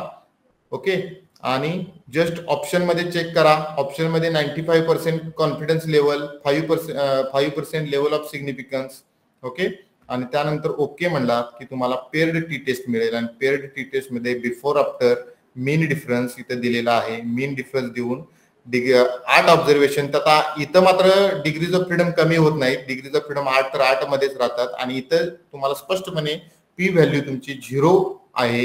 हे लेस दॅन झिरो आहे. Zero point zero one one आहे ना? या लेस दॅन आहे हा पॉइंट आहे हा झिरो झिरो वन. म्हणजे खूपच कमी. अगदी झिरोशी जवळ आहे. पी व्हॅल्यू आणि झिरोशी जवळ असल्यामुळे आपलं हायपोथेसिस हे रिजेक्ट होतं. पी व्हॅल्यू जर पॉईंट नॉट फाईव्हपेक्षा जर काय असेल कमी असेल तर हायपोथिसिस रिजेक्ट पॉईंट नॉट फाईव्हपेक्षा जर ग्रेटर असेल तर हायपोथेसिस ऍक्सेप्ट हे सर्व झालं कशाच्या संदर्भात? तर टी टेस्टच्या संदर्भात. आता काही वेळेअभावी मी म्हणेन तुम्ही थोडस तुमच्याकडचा डेटा घ्या आणि ते प्रॅक्टिस करा. ओके तर नॉन पॅरामेट्रिक म्हणून नॉन पॅरामेट्रिक सुद्धा मध्ये सुद्धा सेम फक्त जस्ट असे व्हेरिएबल द्यायचे. वन सॅम्पल इंडिपेंडंट सॅम्पल असे वेगवेगळ्या प्रकारचे आणि रिलेटेड सॅम्पल रिलेटेड सॅम्पलमध्ये रिलेटेड होतं. इंडिपेंडंट सॅम्पलमध्ये इंडिपेंडंट सॅम्पल टी टेस्ट सेमच सगळा विंडो वगैरे सगळं सेम आहे. आणि वन सॅम्पलमध्ये सुद्धा आपण टी टेस्टची वन सॅम्पल टेस्ट कशी केली त्या पद्धतीने आपण करू शकतो. तर ते तेवढं तुम्ही बघा. ओके सो हे एसपीएसएसमध्ये टी टेस्टची रिलेटेड सर्व काही आहे. आता थोडस अॅनोवाकडे बघूया. सर जरा वेळ किती आहे जरा सांगा मला. सर तुम्ही तुमच्या तुम्हाला आवश्यक तेवढा वेळ घेऊ शकता असं काय नाही. हा हा. अजून एक म्हणजे अनोवासाठी एक अजून एक अर्धा तास तरी लागेल. ठीक आहे. वेळ. अजून जर तुम्ही जर दिलात वाढवून तर मग आपण नॉन पॅरामेट्रिक पण बघू? नाही घ्या घ्या घ्या घ्या. चालेल चालेल चालेल ठीक आहे. जास्त बोर होत नाही ना सर? अजिबात नाही सर. अगदी तुम्ही व्यवस्थित एक फ्लो पकडून चाललेले आहात. Okay okay. चालेल ओके.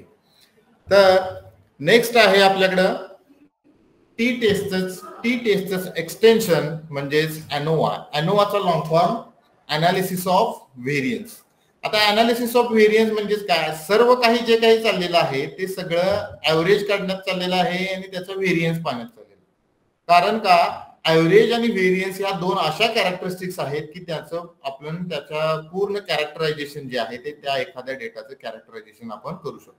ओके सो पहिला आपण काय करूया? अॅनोवा मध्ये टी टेस्टमध्ये टी टेस्टमध्ये आपण काय बघितलेलं आहे की फॉर एक्झाम्पल एक सिंगल सॅम्पलचं जर टी टेस्ट करायची असेल किंवा सिंगल सॅम्पलचा ऍव्हरेज चेक करायचं असेल तर टी टेस्ट वापरतो. किंवा दोन इंडिपेंडेंट सॅम्पल चेक करायचे असतील तर टी टेस्ट वापरतो. बरोबर आहे ना? आता अॅनोवा मध्ये जस्ट दोन पेक्षा जास्त जर ग्रुप असतील दोन पेक्षा जास्त जर ग्रुप असतील तर काय करायचं? तर अॅनोवाकडे जायचं.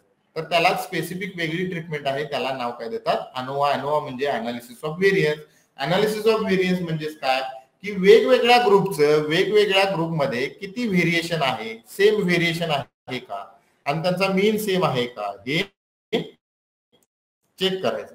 आता यामध्ये काही अजम्पन्स असणार आहेत ती बघूया. ANOVA technique is use to investigate the effect of any number of factors which are hypothesized or said to influence the dependent variable आता डिपेंडंट व्हेरिएबल म्हणजे काय? किंवा वेगवेगळे फॅक्टर्स म्हणजे काय? दोन शब्द तरी आपल्याला याच्यातून समजतात. फॅक्टर एक आहे आणि डिपेंडंट व्हेरिएबल आता डिपेंडंट म्हणजे काय? की ज्याच्यावर अवलंबून आहे असा तो म्हणजे डिपेंडंट आणि फॅक्टर्स म्हणजे काय? की वेगवेगळे फॅक्टर्स असू शकतात. फॉर एक्झाम्पल काय? की इल्ड ऑफ क्रॉप काय कन्सिडर केलं आपण? Yield of crop yield of crop हे कशा कशावर डिपेंडंट असू शकतं? तर व्हरायटी ऑफ सीड्स तुमचं सीड्सची क्वालिटी काय आहे? किंवा व्हरायटी कोणती आहे? त्याच्यावर अवलंबून असू शकतं. सॉइलचा टाईप अवलंबून असू शकतो. सॉइल कोणकोणत्या प्रकारचे आहे? म्हणजे फॉर एक्झाम्पल रेड सॉइल आहे का? ब्लॅक सॉइल आहे काय? ओके असे वेगवेगळ्या प्रकारचे सॉइल किंवा व्हरायटीज ऑफ फर्टिलायझर तुम्ही फर्टिलायझर्स कोणकोणते वापरणार आहात? वेगवेगळे. Okay F one F two F three consider करू त्याला आपण. हे जे झाले ते फॅक्टर्स झाले. ओके हे म्हणजेच काय झाले? फॅक्टर्स झाले. आणि हा जो इल्ड ऑफ क्रॉप त्याच्यातून निघणार उत्पन्न जे असणार आहे ते म्हणजे माझं इल्ड असणार. ओके आता हे इल्ड जे आहे या फॅक्टर्सवर डिपेंडंट आहे. या फॅक्टर्सवर डिपेंडंट आहे. मग मी पहिला एकच व्हरायटी ऑफ सीड्स म्हणतो ए बी सी डी म्हणजेच आणि ऑफ क्रॉप म्हणजे ए म्हणजे फॉर एक्झाम्पल भाताचं पीक आपण जर कन्सिडर केलं पॅडी पॅडी क्रॉप भाताचं पीक जर कन्सिडर केलं तर वेगवेगळ्या प्रकारचे भाताचे हे आहेत. काय? बासमती आहे. ओके त्यानंतर ते कोलम आहे. वेगळे वेगवेगळे म्हणजे असे बरेच तांदळाचे प्रकार प्रकार आहेत. बरोबर आहे ना? तर त्या प्रकारे चार वेगवेगळे तांदळाचे प्रकार घेतले चार वाफे तयार केले. मी काय केलं? चार वाफे तयार केले. चार वाफ्यामध्ये चार वेगवेगळ्या प्रकारचे तांदूळ ते काय केलेले आहेत? पेरलेले आहेत. आणि त्याच्यावर ऊन वारा पाऊस सगळ्याचा आपण नियोजन सेम केलेलं आहे. फर्टिलायझर सेम वापरलेले आहेत. सॉइल टाईप सेम आपण कन्सिडर केलेले आहेत. ओके? आणि त्याची ऑब्झर्वेशन आपण कलेक्ट केलेली आहे. आता ही चार ऑब्झर्वेशन जी आहेत ती चार म्हणजे इल्ड जे आहे ते चार उत्पन्न जे आहे ते उत्पन्न आपण कशात तरी मेजर केलेलं आहे. म्हणजे क्विंटलमध्ये मेजर केलेलं आहे असं समजूया आपण. आता आलेलं उत्पन्न हे चार वाफ्यामध्ये जे उत्पन्न असेल ते चार वाफ्यामधलं उत्पन्न हे सेमच असेल का हो? नक्कीच नाही. कारण का? एका वाफ्यामध्ये तुम्हाला कुठेतरी नव्वद क्विंटल मिळेल. दुसऱ्या वाफ्यामध्ये शंभर क्विंटल मिळेल. तिसऱ्या वाफ्यामध्ये काहीतरी एकशे दहा क्विंटल मिळेल. किंवा काही अनकंट्रोलेबल फॅक्टर्स असतात. फॉर एक्झाम्पल काय अनकंट्रोलेबल फॅक्टर्स म्हणजे काय? कुठेतरी आपल्याला काय? की ऊन वारा पाऊस म्हणतो मी की हे आपण कंट्रोल करूच शकत नाही. वादळ आलं एखादा वफा काय झालेला आहे झाड पडलं किंवा काय जर झालं तर नुकसान होऊन जाऊ शकतं. बरोबर आहे? तर ह्याच्यासाठी आपल्याला काय करायचं आहे की ही जी ट्रीटमेंट आहे हे जे वाफे आहेत हे जे वाफे जे आहेत ते रिपीट करायचे आहेत. तर किती रिपीट करायचे? फॉर एक्झाम्पल दहा किंवा वीस ठिकाणी रिपीट केलं. ओके दहा किंवा वीस किंवा एखाद्या गावामध्ये आपण ते स्टडी राबवतो. स्टडी एखाद्या गावामध्ये स्टडी राबवत असताना आपण गावच्या लोकांचा एक एक वाफा जरी कन्सिडर केला तर भरपूर वाफे तयार होतील आणि त्या भरपूर वाफ्यामध्ये आपण ह्या ट्रीटमेंट वापरू शकतो. एक ग्रुप असा आपण काय करू शकतो? वाडा साठी ठेवू शकतो. एक ग्रुप आपण रेग्युलर जे जे ह्या भागामध्ये जे कुठलं चालत असेल सीड ते वापरू शकतो. आणि तिसरा म्हणजे आपण कुठला वापरू शकतो? बासमती किंवा दावत हा वापरू शकतो. ओके? असे वेगवेगळे करून आपण जे रिपिटेशन केल्यानंतर जो काही कंबाईंड आपल्याकडे हे मिळेल इल्ड मिळेल ती इल्ड जी आहे ती तिन्ही ठिकाणी किंवा तीन सीड्सची व्हरायटी ऑफ सीड्सची सेम आहे का ते चेक करायचं जर असेल तर आपल्याला वन वे अनुभव वापरावा लागेल. लक्षात येते दुसरं एक एक्झाम्पल तिथे सांगितलेलं आहे weight of the animal weight of the animal म्हणजेच काय? की तुम्ही त्या प्रत्येक अॅनिमलला किंवा तुम्ही प्रत्येक जे जो कोणताही प्राणी आहे ओके अंडरस्टडी तुम्ही कन्सिडर केलेला आहे. तर तो अंडरस्टडी जे जो प्राणी असेल त्याचं जेंडर आपण वेगवेगळं असू शकतं. तो एक तर मेल असू शकेल किंवा फिमेल असू शकेल. किंवा काय असू शकेल की त्याला फीड टाईप वेगवेगळे असू शकतात. म्हणजे न्यूट्रिएंट्स एकाला दिले वेगळ्या प्रकारचे दुसऱ्याला दुसऱ्या प्रकारचे न्यूट्रिएंट्स दिले तिसऱ्याला आपण काय केलंय की आयुर्वेदिक ट्रीटमेंट न्यूट्रिएंट्स काहीतरी दिले. ओके? असं वेगवेगळं आपण देऊ शकतो आणि त्याचे वेट आपण मेजर करून कोणत्या मध्ये आपल्याला डिफरन्स निर्माण होतो ते आपण वेट ऑफ द अॅनिमल किंवा मध्ये कन्सिडर करू शकतो. किंवा ग्रुप कन्सिडर करून तीन दोन पेक्षा जास्त ग्रुप कन्सिडर केल्यानंतर ते आपल्याला तिथे अनु आपण वापरू शकतो. त्याच प्रकारे performance of salesman time to cure a specific disease आणि monthly earning of the workers in Mumbai आता मगाशी दोनच सिटी कन्सिडर केल्या होत्या. किंवा मेल आणि फिमेल कन्सिडर केल्या होत्या. आता इथे सिटी आपण वेगवेगळ्या कन्सिडर करू शकतो. मुंबई पुणे कोल्हापूर घेऊ शकतो. बरोबर आहे. एज्युकेशन घेऊ शकतो. प्रायमरी सेकंडरी हायर एज्युकेशन प्रायमरीचं एज्युकेशन असलेल्यांचं monthly earning secondary education असलेल्यांचं monthly earning higher second higher education असणाऱ्यांचं monthly earning हे नक्कीच वेगवेगळं असू शकणार आहे. आणि त्या पद्धतीने आपला स्टडी हा आपण करू शकणार आहे. बरोबर आहे? आपण जस जसा आपला स्टडी येईल त्याला आपल्याला आपल्या स्टडीला साजेस असं हायपोथिसिस आपण जर मांडलं तर त्याच्याशी रिलेटेड सर्व डेटा आपण कलेक्ट करायचा.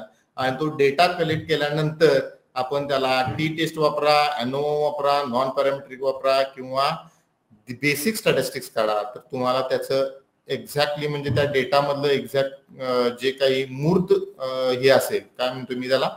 ज्याला क्रीम असेल ती डेटामधली ती क्रीम तुम्हाला आपल्याला मिळून जाईल. तो इन्फरन्स मिळून जाईल लॉजिक मिळून जाईल. Okay if you take only one factor to investigate the difference among its various categories having numerous possible values we are said to use one way ANOVA म्हणजे फक्त यामधला एकच तुम्ही फॅक्टर कन्सिडर केला आणि त्याच्या व्हरायटी कन्सिडर केल्या. आणि इकडं तुम्ही काय केलेलं आहे response variable dependent variable Y consider केला. तर त्याला वन वे अनुभव म्हणतात. आणि जर तुम्ही दोन कन्सिडर केले तर टू वे अनुभव होईल. दोन कन्सिडर फॅक्टर केले तर टू वे अनोवा होईल. आणि दोन पेक्षा जर जास्त जर तुम्ही हे केला कॅटेगरिकल व्हेरिएबल जर घेतला तर त्याला जनरलाइज्ड मॉडेल पण म्हणतात. जनरलाइज्ड मॉडेल पण म्हणतात किंवा मॅनोवा पण म्हणतात. मल्टिपल अॅनोवा ओके सो यामध्ये सुद्धा आपल्याकडे अजम्पन्स आहेत. अजम्पन्स म्हणजे काय? नॉर्मल पॉप्युलेशन पाहिजे ते डिस्ट्रीब्युटेड झालेलं पाहिजे. आणि इक्वल व्हेरियन्स पाहिजे. जर नॉर्मली डिस्ट्रीब्युटेड नसतील तर आपण non parametric ANOVA Kruskal Wallis Kruskal Wallis ANOVA तिकडे जाणार. अदरवाईज पॅरामेट्रिककडे जर जायचं असेल तर हा अनोवा आपल्याकडे आहे. आता बेसिक प्रिन्सिपल ऑफ अनोवा म्हणजे काय आहे? तर बेसिक प्रिन्सिपल ऑफ अनोवा म्हणजे काय? की जे डिफरंट फॅक्टर आहेत त्या डिफरंट फॅक्टर मधला मीन चेक करणे. मेन कंपेरिजन ॲव्हरेज कंपेरिजन करणे yields response okay the basic principle of ANOVA is to test the difference differences among the means of the population by examining the amount of variation within each of this samples relative to the amount of variation between the sample म्हणजेच काय बघा की प्रत्येक ग्रुपमध्ये variation मीन compare करायचं आहे आणि मीन compare करत असताना मीन कंपेअर करत असताना त्याचं व्हेरियन्स पण कंपेअर करायचं आहे. आणि तो व्हेरियन्स कसा आहे? बिटवीन सॅम्पल्स व्हेरियन व्हेरियन्स किती आहे? आणि विदिन सॅम्पल व्हेरियन्स किती आहे? ते चेक करायचं. ओके आता हे नक्कीच तुम्हाला समजणार नाही आहे. हेही मला तितकंच माहीत आहे.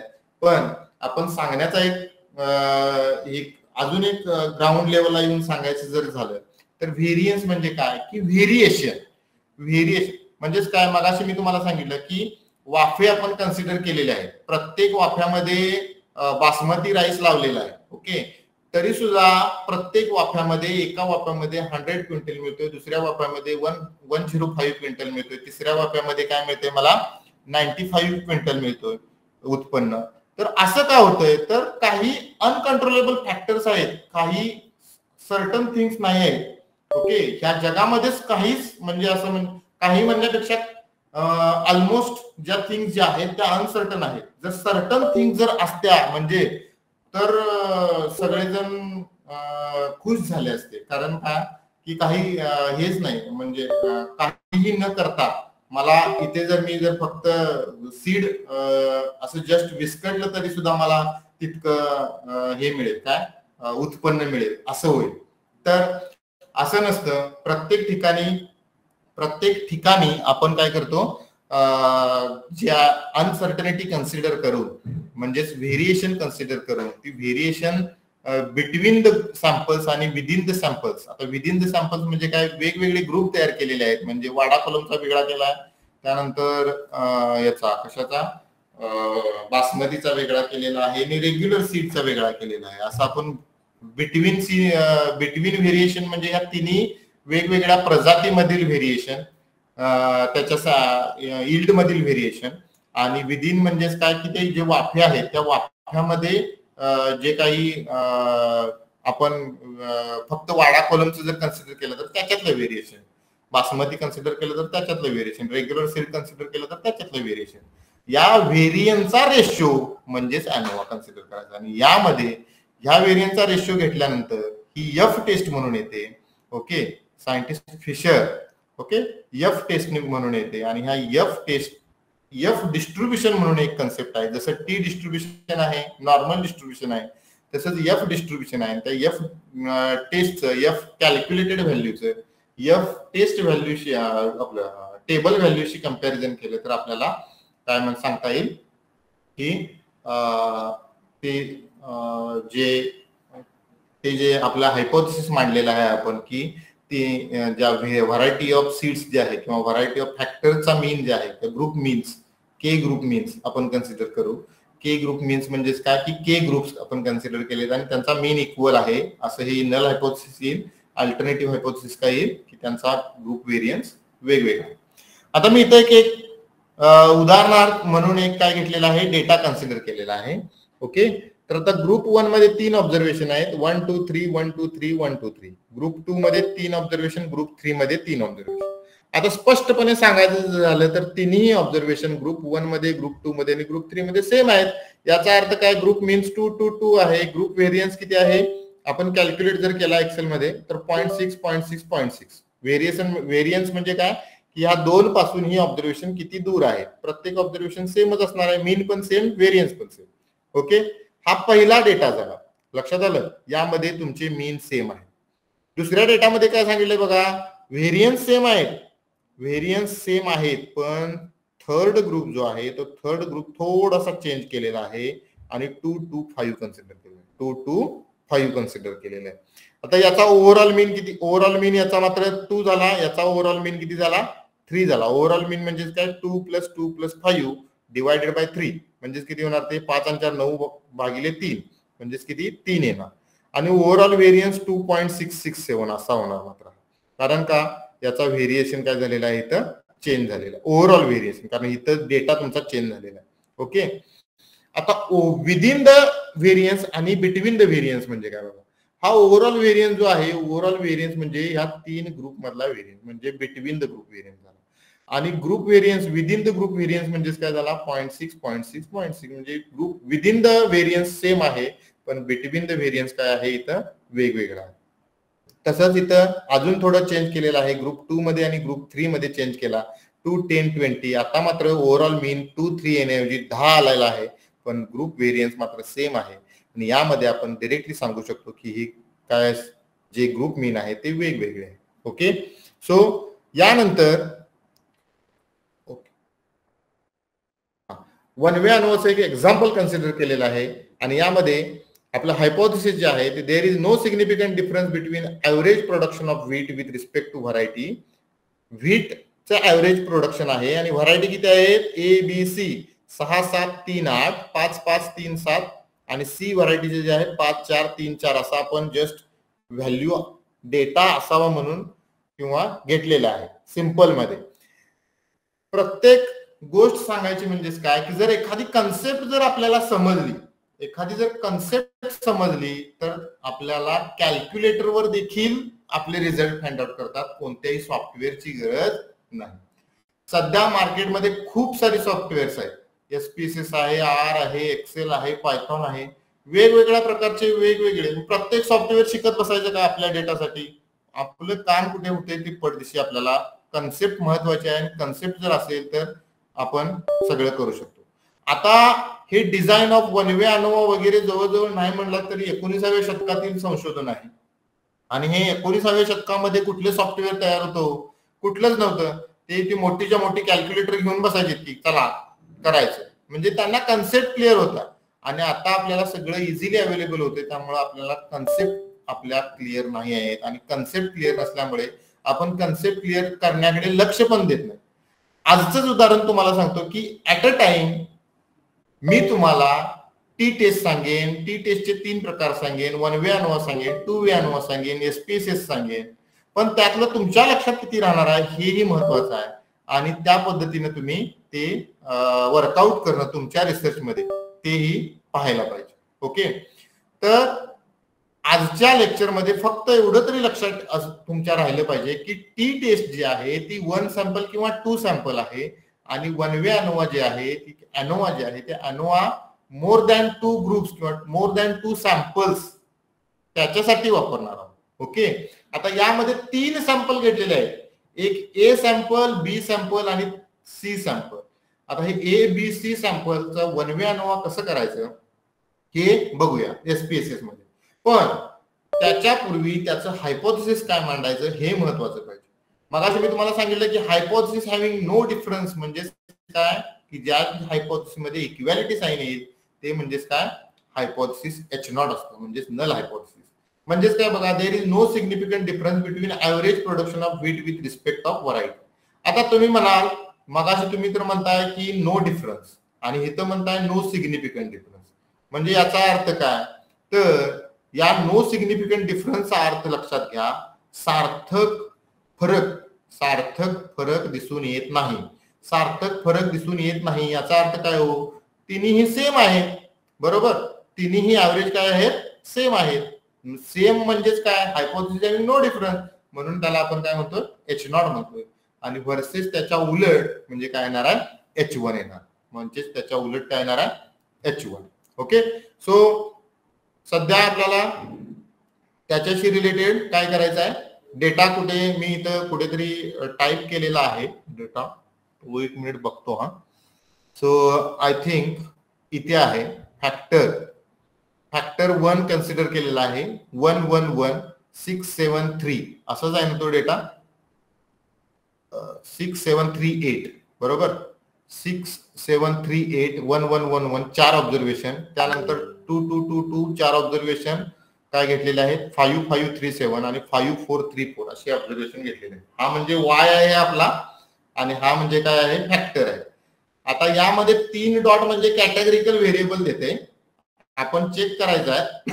व्हेरिएबल व्ह्यू मध्ये माझा वाय जो आहे तो माझा वाय काय आहे? स्केल आहे. स्केल आहे म्हणून त्याला स्पष्टपणे इथं चेंज करून घ्यायचा पहिला अगोदर. तो स्केल व्हेरिएबल कन्सिडर करून घ्यायचा. लक्षात आलं? वाय. नाव अनालिसिस अनालाइज अनालाइजमध्ये कुठे जायचं आपल्याला? Compare means and proportion compare means and प्रपोर्शनमध्ये one way ANOVA one way ANOVA मध्ये फॅक्टर वन डिपेंडंट व्हेरिएबल म्हणजेच काय घ्यायचं आहे आपल्याला? हा डिपेंडंट लिस्ट घ्यायचा आहे. आणि फॅक्टर वन फॅक्टर वन म्हणजेच हा फॅक्टरमध्ये घ्यायचा. आता यामध्ये कॉन्ट्रास्ट म्हणजे काय पोस्ट हॉक म्हणजे काय ऑप्शन म्हणजे काय हे बघूया. ओके? आता फॅक्टर यामध्ये किती आहे? तर फॅक्टर यामध्ये तीन आहेत म्हणजे व्हरायटीज. किती आहेत तीन. एक ए म्हणजे वन वन वन बी म्हणजे टू टू टू आणि सी म्हणजेच काय? Three three three. लक्षात आलं? ए बी सी हे one one one two two two आणि थ्री थ्री थ्री. यामध्ये आपल्याला फॅक्टर्स आता असंही असू शकतं की पहिला आणि दुसरा कंपेअर करायचा आहे मला. मला पहिला आणि तिसरा कंपेअर करायचा आहे. मला पहिला आणि चौथा कंपेअर करायचा आहे. व्हरायटी दुसरा आणि तिसरा दुसरा आणि चौथा तिसरा चौथा अशा वेगवेगळे पेअर वाईज कंपॅरिझन करायचं जर असेल तर ते कुठं येतं? पोस्ट हॉक टेस्टमध्ये. पोस्ट हॉक लक्षात येत आहे कॉन्ट्रास्ट हे सध्या तुम्ही कॉन्ट्रास्टकडे जाऊ नका. पोस्ट हॉक आणि अॅनोवा अॅनोवापर्यंत आपण समजून घेऊ.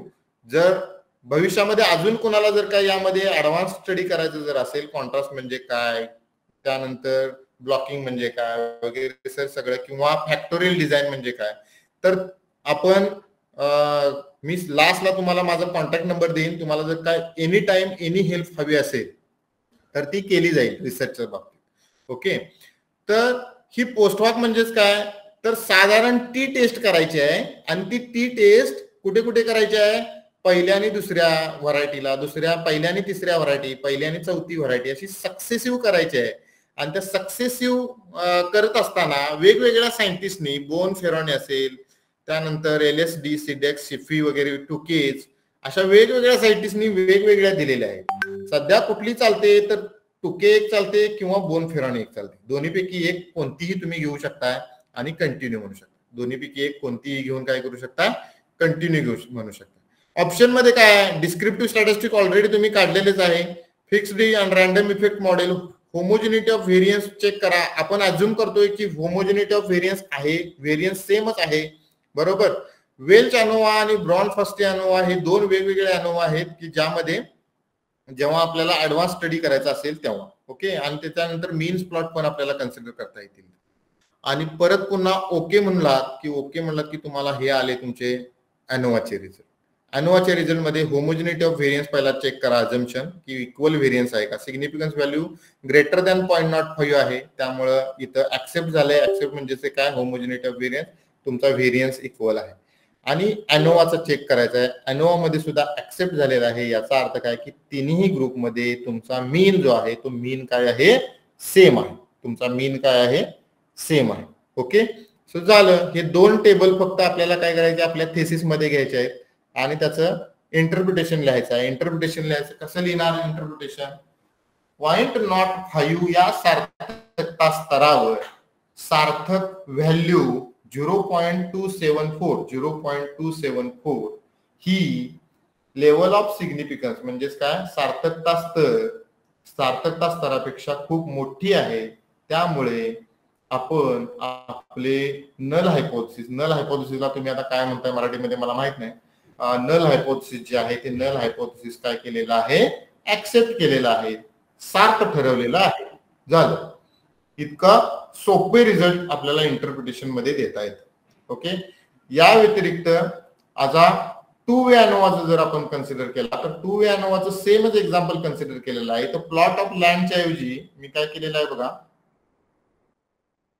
हे मल्टिपल कंपॅरिझनसाठी मी तुम्हाला सांगितले की टू केस बॉन फेरनाइज शिपीज डीएमआरटी वगैरे वेगवेगळ्या प्रकारचे टेस्ट आहेत. त्या पद्धतीने आपण कंपॅरिझन करू शकतो. आता टू वे मध्ये मगाशी जो सांगितलेला टेबल तो सेमच आहे.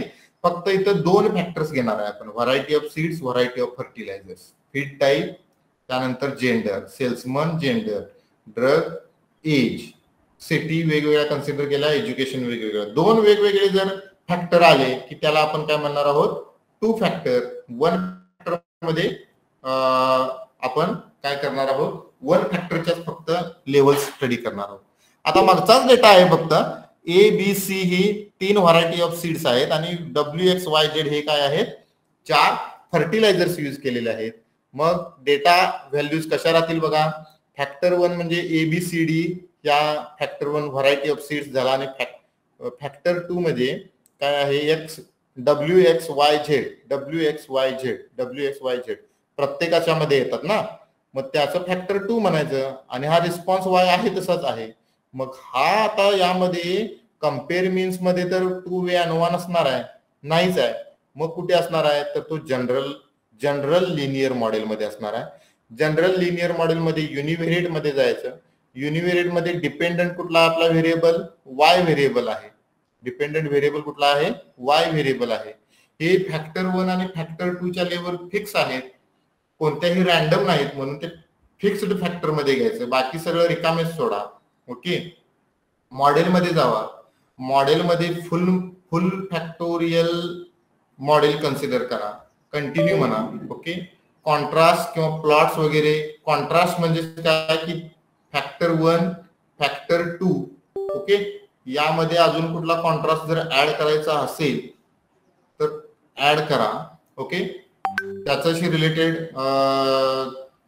थोडं आपण जे बाय डिफॉल्ट आहेत व्हॅल्यूज त्याच व्हॅल्यूज आपण कन्सिडर करूया. त्यानंतर वेगवेगळ्या प्रकारचे प्लॉट्स कुठले लागणार आहेत? ते प्लॉट्स जे आहेत ते प्लॉट्स आपण घेणार आहोत. हॉरिझेंटल ऍक्सिसला काय घ्यायचं व्हर्टिकल ऍक्सिसला काय घ्यायचं प्लॉट्स वगैरे काही गरज नाही. आपल्याला फक्त जस्ट अनोवा टेबल आणि त्याचे हे पाहिजे. पोस्ट हॉक पाहिजे. So post हॉकसाठी post hoc test for factor one आणि फॅक्टर टू साठी पण पाहिजेत फॅक्टर वनसाठी आणि फॅक्टर टू साठी टू केस टेस्ट कन्सिडर करूया आपण आणि कंटिन्यू म्हणूया. त्यानंतर बाकी सगळं सेव्ह आहे. ऑप्शन्समध्ये एक बघा. काय ते डिस्क्रिप्टिव्ह स्टॅटिस्टिक्स वगैरे सगळं येते डिस्क्रिप्टिव्ह स्टॅटिस्टिक्सची काही गरज नाही आपल्याला कारण ऑलरेडी आपण चॅप्टर आपला स्टार्ट करण्यापूर्वीच ते आपण डिस्क्रिप्टिव्ह स्टॅटिस्टिक्स म्हणजे बेसिक स्टॅटिस्टिक्स मीन मीडियन वगैरे ते मगाशी आपण बघितलेलं आहे. आणि ओके म्हणलात की पडद्याची तुम्हाला हे काय मिळेल? Univariate ANOVA two way ANOVA मिळेल. आणि टू वे अनोवाचा सॉरी सिग्निफिकन्स काहीतरी इथं. बॉन्ड ओके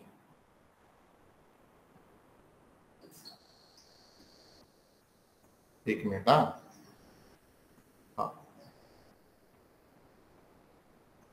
कुठला तरी एक व्हॅल्यू बहुतेक त्यामध्ये घ्यायची राहिलेली आहे. ती बघूया आपण so two way ANOVA analyse त्यानंतर generalise linear sorry general linear model त्यानंतर वाय दिला factor one factor two random effects random factors त्यानंतर मॉडेल मॉडेलमध्येच आपण बिल्ड टर्म म्हणूया. Interaction factor one factor two okay आणि कंटिन्यू आणि तो ओके म्हणलात की आपल्याला काय मिळेल? फॅक्टर वन फॅक्टर टू चा इथं पटदिशी आपल्याला मिळून जाईल. आणि त्याचे मल्टिपल कंपॅरिझन सुद्धा इथं मिळून जातील. ओके मल्टिपल कम्पॅरिझनमध्ये टू केस टेस्ट आपण कन्सिडर केलेले आहे. आणि अॅनोवा मध्ये इथं अॅनोवा सुद्धा आपल्याला मिळालेला आहे. Okay factor one test based on subject effects factor one factor two okay आणि यामध्ये करेक्ट मॉडेल जे आहे त्याचं significance value zero point nought three four आलेले आहे. आणि नॉट थ्री फोर म्हणजेच काय? तर तुमची लेवल ऑफ सिग्निफिकन्सपेक्षा ती व्हॅल्यू कमी आहे. म्हणजे करेक्ट मॉडेल काय झालेलं आहे? इथं रिजेक्ट झालेलं आहे. कारण का? आपण दोन्ही साईडने two way variable variability consider केल्यामुळे टू वे अनोवा आपण कन्सिडर केल्यामुळे इथे मात्र तुमचा रिझल्ट रिजेक्ट आलेला आहे. आणि यामध्ये तुमचे ज्या व्हॅल्यूज ज्या आहेत त्या व्हॅल्यूज ह्या रिपीटेड नसतात. ओके आणि त्यामुळे इथं रिजेक्शन आलेलं आहे. आणि रिजेक्शन याचा अर्थ काय? की त्या प्रत्येक फॅक्टर वन म्हणजे सीड व्हरायटी आणि फर्टिलायझर वेगवेगळे जर आपण कन्सिडर केले तर आपला आन्सर हे वेगळं असू शकतं. हे म्हणजे त्याचे मीन्स हे वेगवेगळे असणार आहेत. हे इथं आपल्याला रिझल्टमध्ये आलेलं आहे. ओके सो परत पुन्हा आपण प्रेझेंटेशनकडे वळूया. तर प्रेझेंटेशनमध्ये आय थिंक सर्व काही झालं असेल. आता हे जे रिझल्ट आहेत हे टू वे अनोवाशी रिलेटेड आहेत. इथं स्पष्टपणे इथं दिलेलं आहे की पॉईंट नॉट थ्री फोर आलेली आहे ही. आणि एक्सेल मधले सुद्धा मायक्रोसॉफ्ट ऑफिस एक्सेल मध्ये सुद्धा होतं ते सांगायचं होतं तुम्हाला. पण इतका वेळ नाही आहे आपल्याला. जवळजवळ दीड तास झालेला आहे. टू वे अनोवाचं अजून एक एक्झाम्पल इथे सांगितलेलं आहे. आणि त्यामध्ये हे एक्झाम्पल तुम्ही काय करा मी तुम्हाला पाठवतो ही सरांना स्लाइड्स हे एक्झाम्पल जे आहे ते example one way ANOVA at least हे ग्रुप ऑफ पीपल कन्सिडर न करता फक्त drug X Y Z consider करा. आणि वन वे अनोवाचं काय करा जे सॉल्व्ह करता येते का अनालिसिसमध्ये ते पहा. आणि जर का प्रॉब्लेम येत असेल तर जस्ट व्हॉट्सअप जरी केला तरी मी तुम्हाला काय नेमकं करायचं ते सांगून जाईल. आता वन वे अनुभवासाठी नॉन पॅरामेट्रिक टेस्ट कुठल्या कुठल्या आहेत? तर क्रस्कल वालीस टेस्ट म्हणून एक आहे आणि फ्रिडमन टेस्ट म्हणून आहे. एसपीएसएसमध्ये क्रस्कल वालीस टेस्ट आहे की नाही हे पाहिलेलं नाही. मी वेळेअभावी जर असं थोडं राहिलेलं आहे. म्हणजे रुसाचं कोऑर्डिनेटर पण माझ्याकडे झाल्यामुळे सर जर असं थोडं नॉन पॅरामेट्रिककडे मी जास्त पाहिलेलं नाही आहे. तर नेक्स्ट टाइम जेव्हा आपण पाहू त्यावेळी नॉन पॅरामेट्रिक देखील आपण बघूया. काही प्रॉब्लेम नाही. आता नॉन अॅनोवा नंतर पुढचं एक्सटेन्शन आहे अॅनो अनाकोवा आणि मॅनोवा मगाशीच मी तुम्हाला सांगितलं की थ्री वे क्लासिफिकेशन किंवा थ्री वे वे जर टू वे वन वे आणि थ्री वे असं म्हणतो तर थ्री वे नसतं. तर ते मल्टिपल अॅनोवा किंवा मल्टीव्हेरिएट अॅनोवा आपण कन्सिडर करू शकतो. त्याला मॅनोवा म्हणायचं. आणि अनाकोवा म्हणजे जर अनालिसिस ऑफ को व्हेरियन्स को व्हेरियन्स म्हणजेच काय? की एखाद्या वेळेस काय असू शकतं? की दोन फॅक्टर जे आहेत त्या दोन फॅक्टरचा कंबाईन इफेक्ट वेगवेगळा असू शकतो. लक्षात येते म्हणजे फॉर एक्झाम्पल काय? सीडची क्वालिटी आणि फर्टिलायझर आता सीडची क्वालिटी आणि फर्टिलायझर कुठलं कुठलं यूज करणार आहे? तर त्यांचा कंबाईन इफेक्ट म्हणजे एखाद्या सीडच्या क्वालिटीला एखादं विशिष्ट फर्टिलायझरच यूज होईल आणि ते त्यामध्ये जर जास्त उत्पन्न देत असेल तर त्यावेळी कंबाईंड इफेक्ट जो असतो तो कंबाईंड इफेक्ट हा को व्हिरिएट म्हणून कन्सिडर केला जातो. आणि त्यामध्ये आपण अनापोवा म्हणून आपण तो स्टडी करू शकतो. याच्यासाठी सगळ्यात बेस्ट बुक तुम्हाला कोठारींचं रिसर्च मेथ्रोलॉजी म्हणून बुक आहे. त्या बुकमध्ये तुम्ही याचे सगळे जे थेरॉटिकल पार्ट आहे तो बघू शकता. आणि जर काही क्वेश्चन्स असतील तर तुम्ही क्वेश्चन्स मला आता विचारू शकता. सर यस सर हा. आपण अतिशय उत्तम अशी मांडणी केलेली आहे. खरं तर मी तर असं म्हणेल की इंटरडिसिप्लिनरी ॲप्लिकेशन्स ऑफ स्टॅटिस्टिक्स हा. खूप उत्तम मांडणी आपण केलेली आहे. कोणाला काही प्रश्न असतील किंवा काही शंका असतील तर विचारायला हरकत नाही. Please Devate sir good evening sir very good सरांनी अतिशय चांगल्या पद्धतीनं मार्गदर्शन केलेलं आहे आणि जे काही डाऊट्स होते ते डाऊट्स बहुतेक मला वाटतं काय राहिलेलेच नसावेत.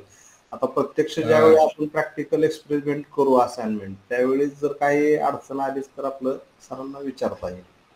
हा नक्कीच सर नाही म्हटलं तर हा भाग सगळा सर आपल्या जॉग्राफर्सना थोडासा नवीनच राहतो स्टॅटिस्टिकचा अनुभव वगैरे मध्ये पण. चांगल्या पद्धतीनं कारण आपलं वरवरच थोडस कॅल्क्युलेशन स्टॅटिस्टिक्समध्ये राहतात तेवढं डिप्स काय कॅल्क्युलेशनकडे आपण फारसं कधी वळत नाही पण. चांगल्या पद्धतीचा अनुभव सरांच्या माध्यमातून आपल्याला मिळाला एक चांगलं ज्ञान मिळालं प्रत्यक्ष ज्यावेळी आपण कॅल्क्युलेशन करायला सुरुवात करू त्यावेळी जर काही अडचणी आल्या मार्गदर्शन मिळालं तर लाभावं एवढीच फक्त अपेक्षा आहे. नक्कीच नक्कीच सर काही प्रॉब्लेम नाही. कधीही एनी टाइम फोन करा. अगदी देवरुखमध्ये जर येऊन जरी सरांनी सांगितलं की तिथे घेऊन घ्या घ्या थोडंफार तरी देखील अगदी तयार असतो आम्ही. Definitely sir. सर त्याच्यापेक्षा प्रिन्सिपल कॉम्पोनंट ह्याच्यामध्येच येतं का वेगळं असतं काय थोडस सर प्रिन्सिपल कॉम्पोनंट अनालिसिस खूप वेगळा आहे अजून. आहे ना? कारण काय हो, माझ्या ह्याच्यामध्ये रिझल्ट काढण्यासाठी मी प्रिन्सिपल कॉम्पोनंट ऍक्च्युली मी स्वतः केलं नाही. करून घेतलं. होतं. तो उघड सांगायला काय हरकत नाही कारण. सगळा स्टॅटिस्टिक बेस येतो आमच्या डोक्याच्या बाहेरचा. पण ते. करून घेतलं होतं. पण. अतिशय चांगलं म्हणजे पवार सर आहेत शिवाजी विद्यापीठात statistic department Somnath Pawar sir ना? सोमनाथ पवार सर. त्यांच्या ते क्लासमेट माझे. अतिशय चांगल्या पद्धतीने त्यांनी दिलं होतं करून. हा हा हा, हा. वेगळा चॅप्टर झाला होता माझा तो. छान वाटलं सर. पण त्यांनी करताना एसपीएसएस मधूनच ते करून दिलेलं होतं. हा नाही एसपीएसएसमध्ये विदिन क्लिक मिळते ना सगळं. हा. काय प्रॉब्लेम नाही. आणि तुमचं थे- जे स्टडीचं जे काही ऑब्जेक्टिव्ह जे असतील आता तुमचे ऑब्जेक्टिव्ह कसे असणार आहेत सांगतो तुम्हाला. कदाचित तुम्हाला रँकिंग करावं करायचं असेल. म्हणजे फॉर एक्झाम्पल काय की मोस्ट इम्पॉर्टंट असे की काय म्हणतो त्याला? की व्हेरिएबल्स की फॅक्टर्स की फॅक्टर्स सिलेक्ट जर करायचे जर असतील तर ते प्रिन्सिपल कॉम्पोनंट अनालिसिस तेच केलं होतं. माझ्या. ह्याच्यामध्ये फूड प्रोडक्शनच्या ऍग्रिकल्चर फूड प्रोडक्शनच्या वरती जे विविध व्हॅरिएबल्स आहेत सातारा जिल्ह्यात काम करणारे ते मला. डिफाईन करायचे होते. Most important factor affecting on the production of agricultural असं मला ते दाखवायचं होतं तर तीन लेवल मधून ते सरांनी मला दाखवून दिलं काढून दिलेलं होतं. छान झाला माझा तो चॅप्टर मधून दिलं होतं. नाही सोमनाथ सोमनाथ पवार सर मी राजगुरू सर काल एक राजगुरू हो, सरांचा असेल. विद्यार्थी होते हा. हा तर आम्ही सगळे क्लासमेट. ही दोघ जण विद्यापीठात एक हा ही दोघ जण विद्यापीठात आहेत मी इकडं वैभववाडीला इकडे लागलो आमचे तिघांचे पण पीएचडी डिपार्टमेंटलाच झालेले आहे. हो चालेल चालेल धन्यवाद सर. सर हा. Thank you thank you doctor Raju Gaware sir. Doctor Raju Gaware sir आपल्याला काय बोलायचं आहे सर खूप खूप धन्यवाद डॉक्टर किरण सर. हा, अतिशय अतिशय उत्तम प्रकारे आपण समजून सांगितलं आहे. आणि ज्या प्रकारे आपले डॉक्टर संजय सरांनी सांगितलं की ज्यावेळेस आम्ही प्रॅक्टिकली हे सर्व आम्ही बसून करू आणि त्यावेळेस जे आम्हाला प्रॉब्लेम फेस होतील तर ते अजून लर्निंग एक्सपिरियन्स राहील आमच्याकडे खूप चांगलं हो हो हो बरोबर ते मला वाटतं ते लवकरच ते यायला पाहिजे आमच्यावर म्हणजे अजून. हे मात्र खरं आहे की आपण काय करू शकतो इनिशियली की. इंटरनेटवर वेगवेगळ्या प्रकारचे स्टडी आहेत. फॉर एक्झाम्पल जॉग्राफी रिलेटेड जर का एखादा एखादा जरी तुम्ही जर मला सांगितलं की हा असा असा सर आहे हे आपण स्टॅटिस्टिक्समध्ये कसं घेऊ शकतो? तर आपण. त्याच्यावर विचार करून काय करू शकतो की डेटा आपण काय कलेक्ट असतो? म्हणजे डेटा आपल्याकडे काय असणार आहे? आणि त्याच्याशी रिलेटेड जर आपण हायपोथिसिस कसं मांडणार आणि त्याच्या मग पुढे जाऊन काय? की टेस्ट कुठला युज करायचं ते आपल्याला. इझिली कळेल. ऍक्च्युअली कुठला आपण की आपला जो रिसर्च जो आहे स्टडी ऑफ इंटरेस्ट जो आहे तो डिफाईन करणं गरजेचं आहे. आणि त्याच्याशी रिलेटेड मग आपण सध्या आता माझ्याकडे आता आज टी टेस्टने अनुभव होतं त्यामुळे मी टी टेस्टने अनुभव प्रिपरेशन करून मी तुम्हाला बऱ्यापैकी थोडंफार सांगण्याचा प्रयत्न केला. जस्ट कंपॅरिझन कम्पॅरिझनच आहे. मग ते कंपॅरिझन हे वेगवेगळे दोन प्रकारे येऊ शकतं. एक प्रकार म्हणजे कुठला? डिफरन्स कंपेअर करायचा आणि दुसरा. म्हणजे रेशिओ कंपेअर करणे. जर रेशो तुमचा वन आला A divided by B equal to one आला तर ए आणि बी सेम आहेत. असं सांगतो ना आपण. ए मायनस बी जर झिरो आला तर त्याला आपण की डिफरन्स हे आहे. डिफरन्स काय आहे आपला? डिफरन्स जर झिरो आला तर ते ए बी सेम म्हणजे कम्पॅरिझन जे आहे मीन किंवा लोकेशन स्केल पॅरामीटर म्हणून दोन प्रकार आहेत. मीन हा लोकेशन पॅरामीटर आणि स्केल पॅरामीटर हा व्हेरियन्स येतो. व्हेरियन्स ज्या व्हेरियन्स ज्यावेळी कम्पॅरिझन होतं त्यावेळी ते एफ़ मध्ये रेशिओ आला तो. Ratio of within sample variance आणि बिटवीन सॅम्पल व्हेरियन्स ओके आणि तेच जर म्हणजे याची व्हेरियनची तुलना केली. आणि मीनची तुलना करायची जर असेल तर काय करायचं? आपल्याला फक्त जस्ट डिफरन्स घ्यायचा पण डिफरन्स घेत असताना त्याचं व्हेरिएशन जे आहे त्या डेटामधलं ते सेम आहे ते आपल्याला अज्युम करायचं असं.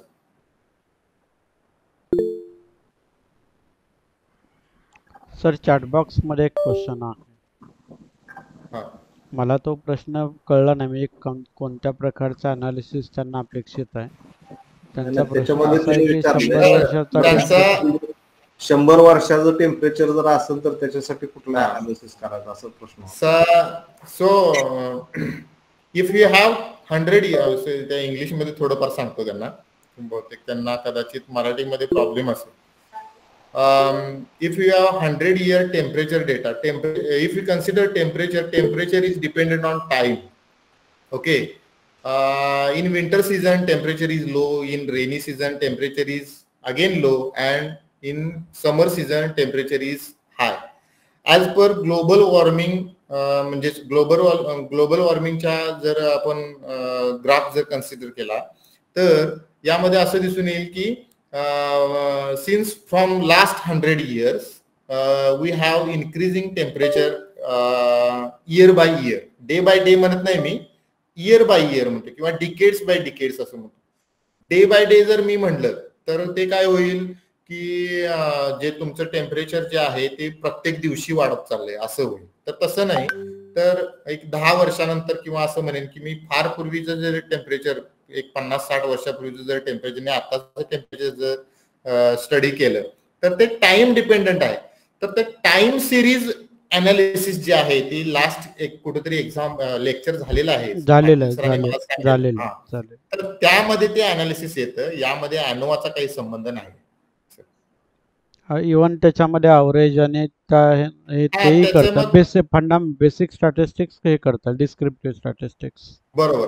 मग. हंड्रेड इयर टेम्परेचर डेटा जर तुमच्याकडे असेल किंवा हंड्रेड इयर रेनफॉल डेटा जर असेल म्हणजे आयएमडी आहे इंटर काय ते Indian meteorological department Indian meteorological डिपार्टमेंटमध्ये आपल्याला काय मिळेल की रेनफॉल पण मिळेल तुमचं प्रेशर पण मिळेल टेम्परेचर पण मिळेल ह्युमिडिटी पण मिळेल सगळंच मिळेल हवामानाशी संदर्भात.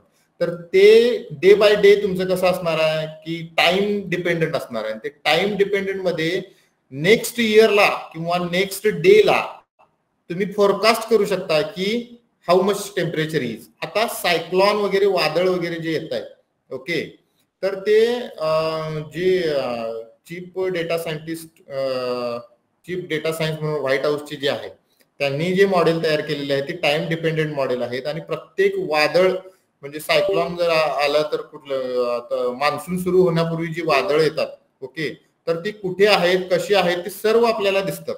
लक्षात येते सो सर्व हे जे आहे ते टाइम सिरीज डेटाने मॉडेल करतायत आपल्याला. असं. हजारे सर आपला हात वर आहे. आपला प्रश्न विचारा तोपर्यंत.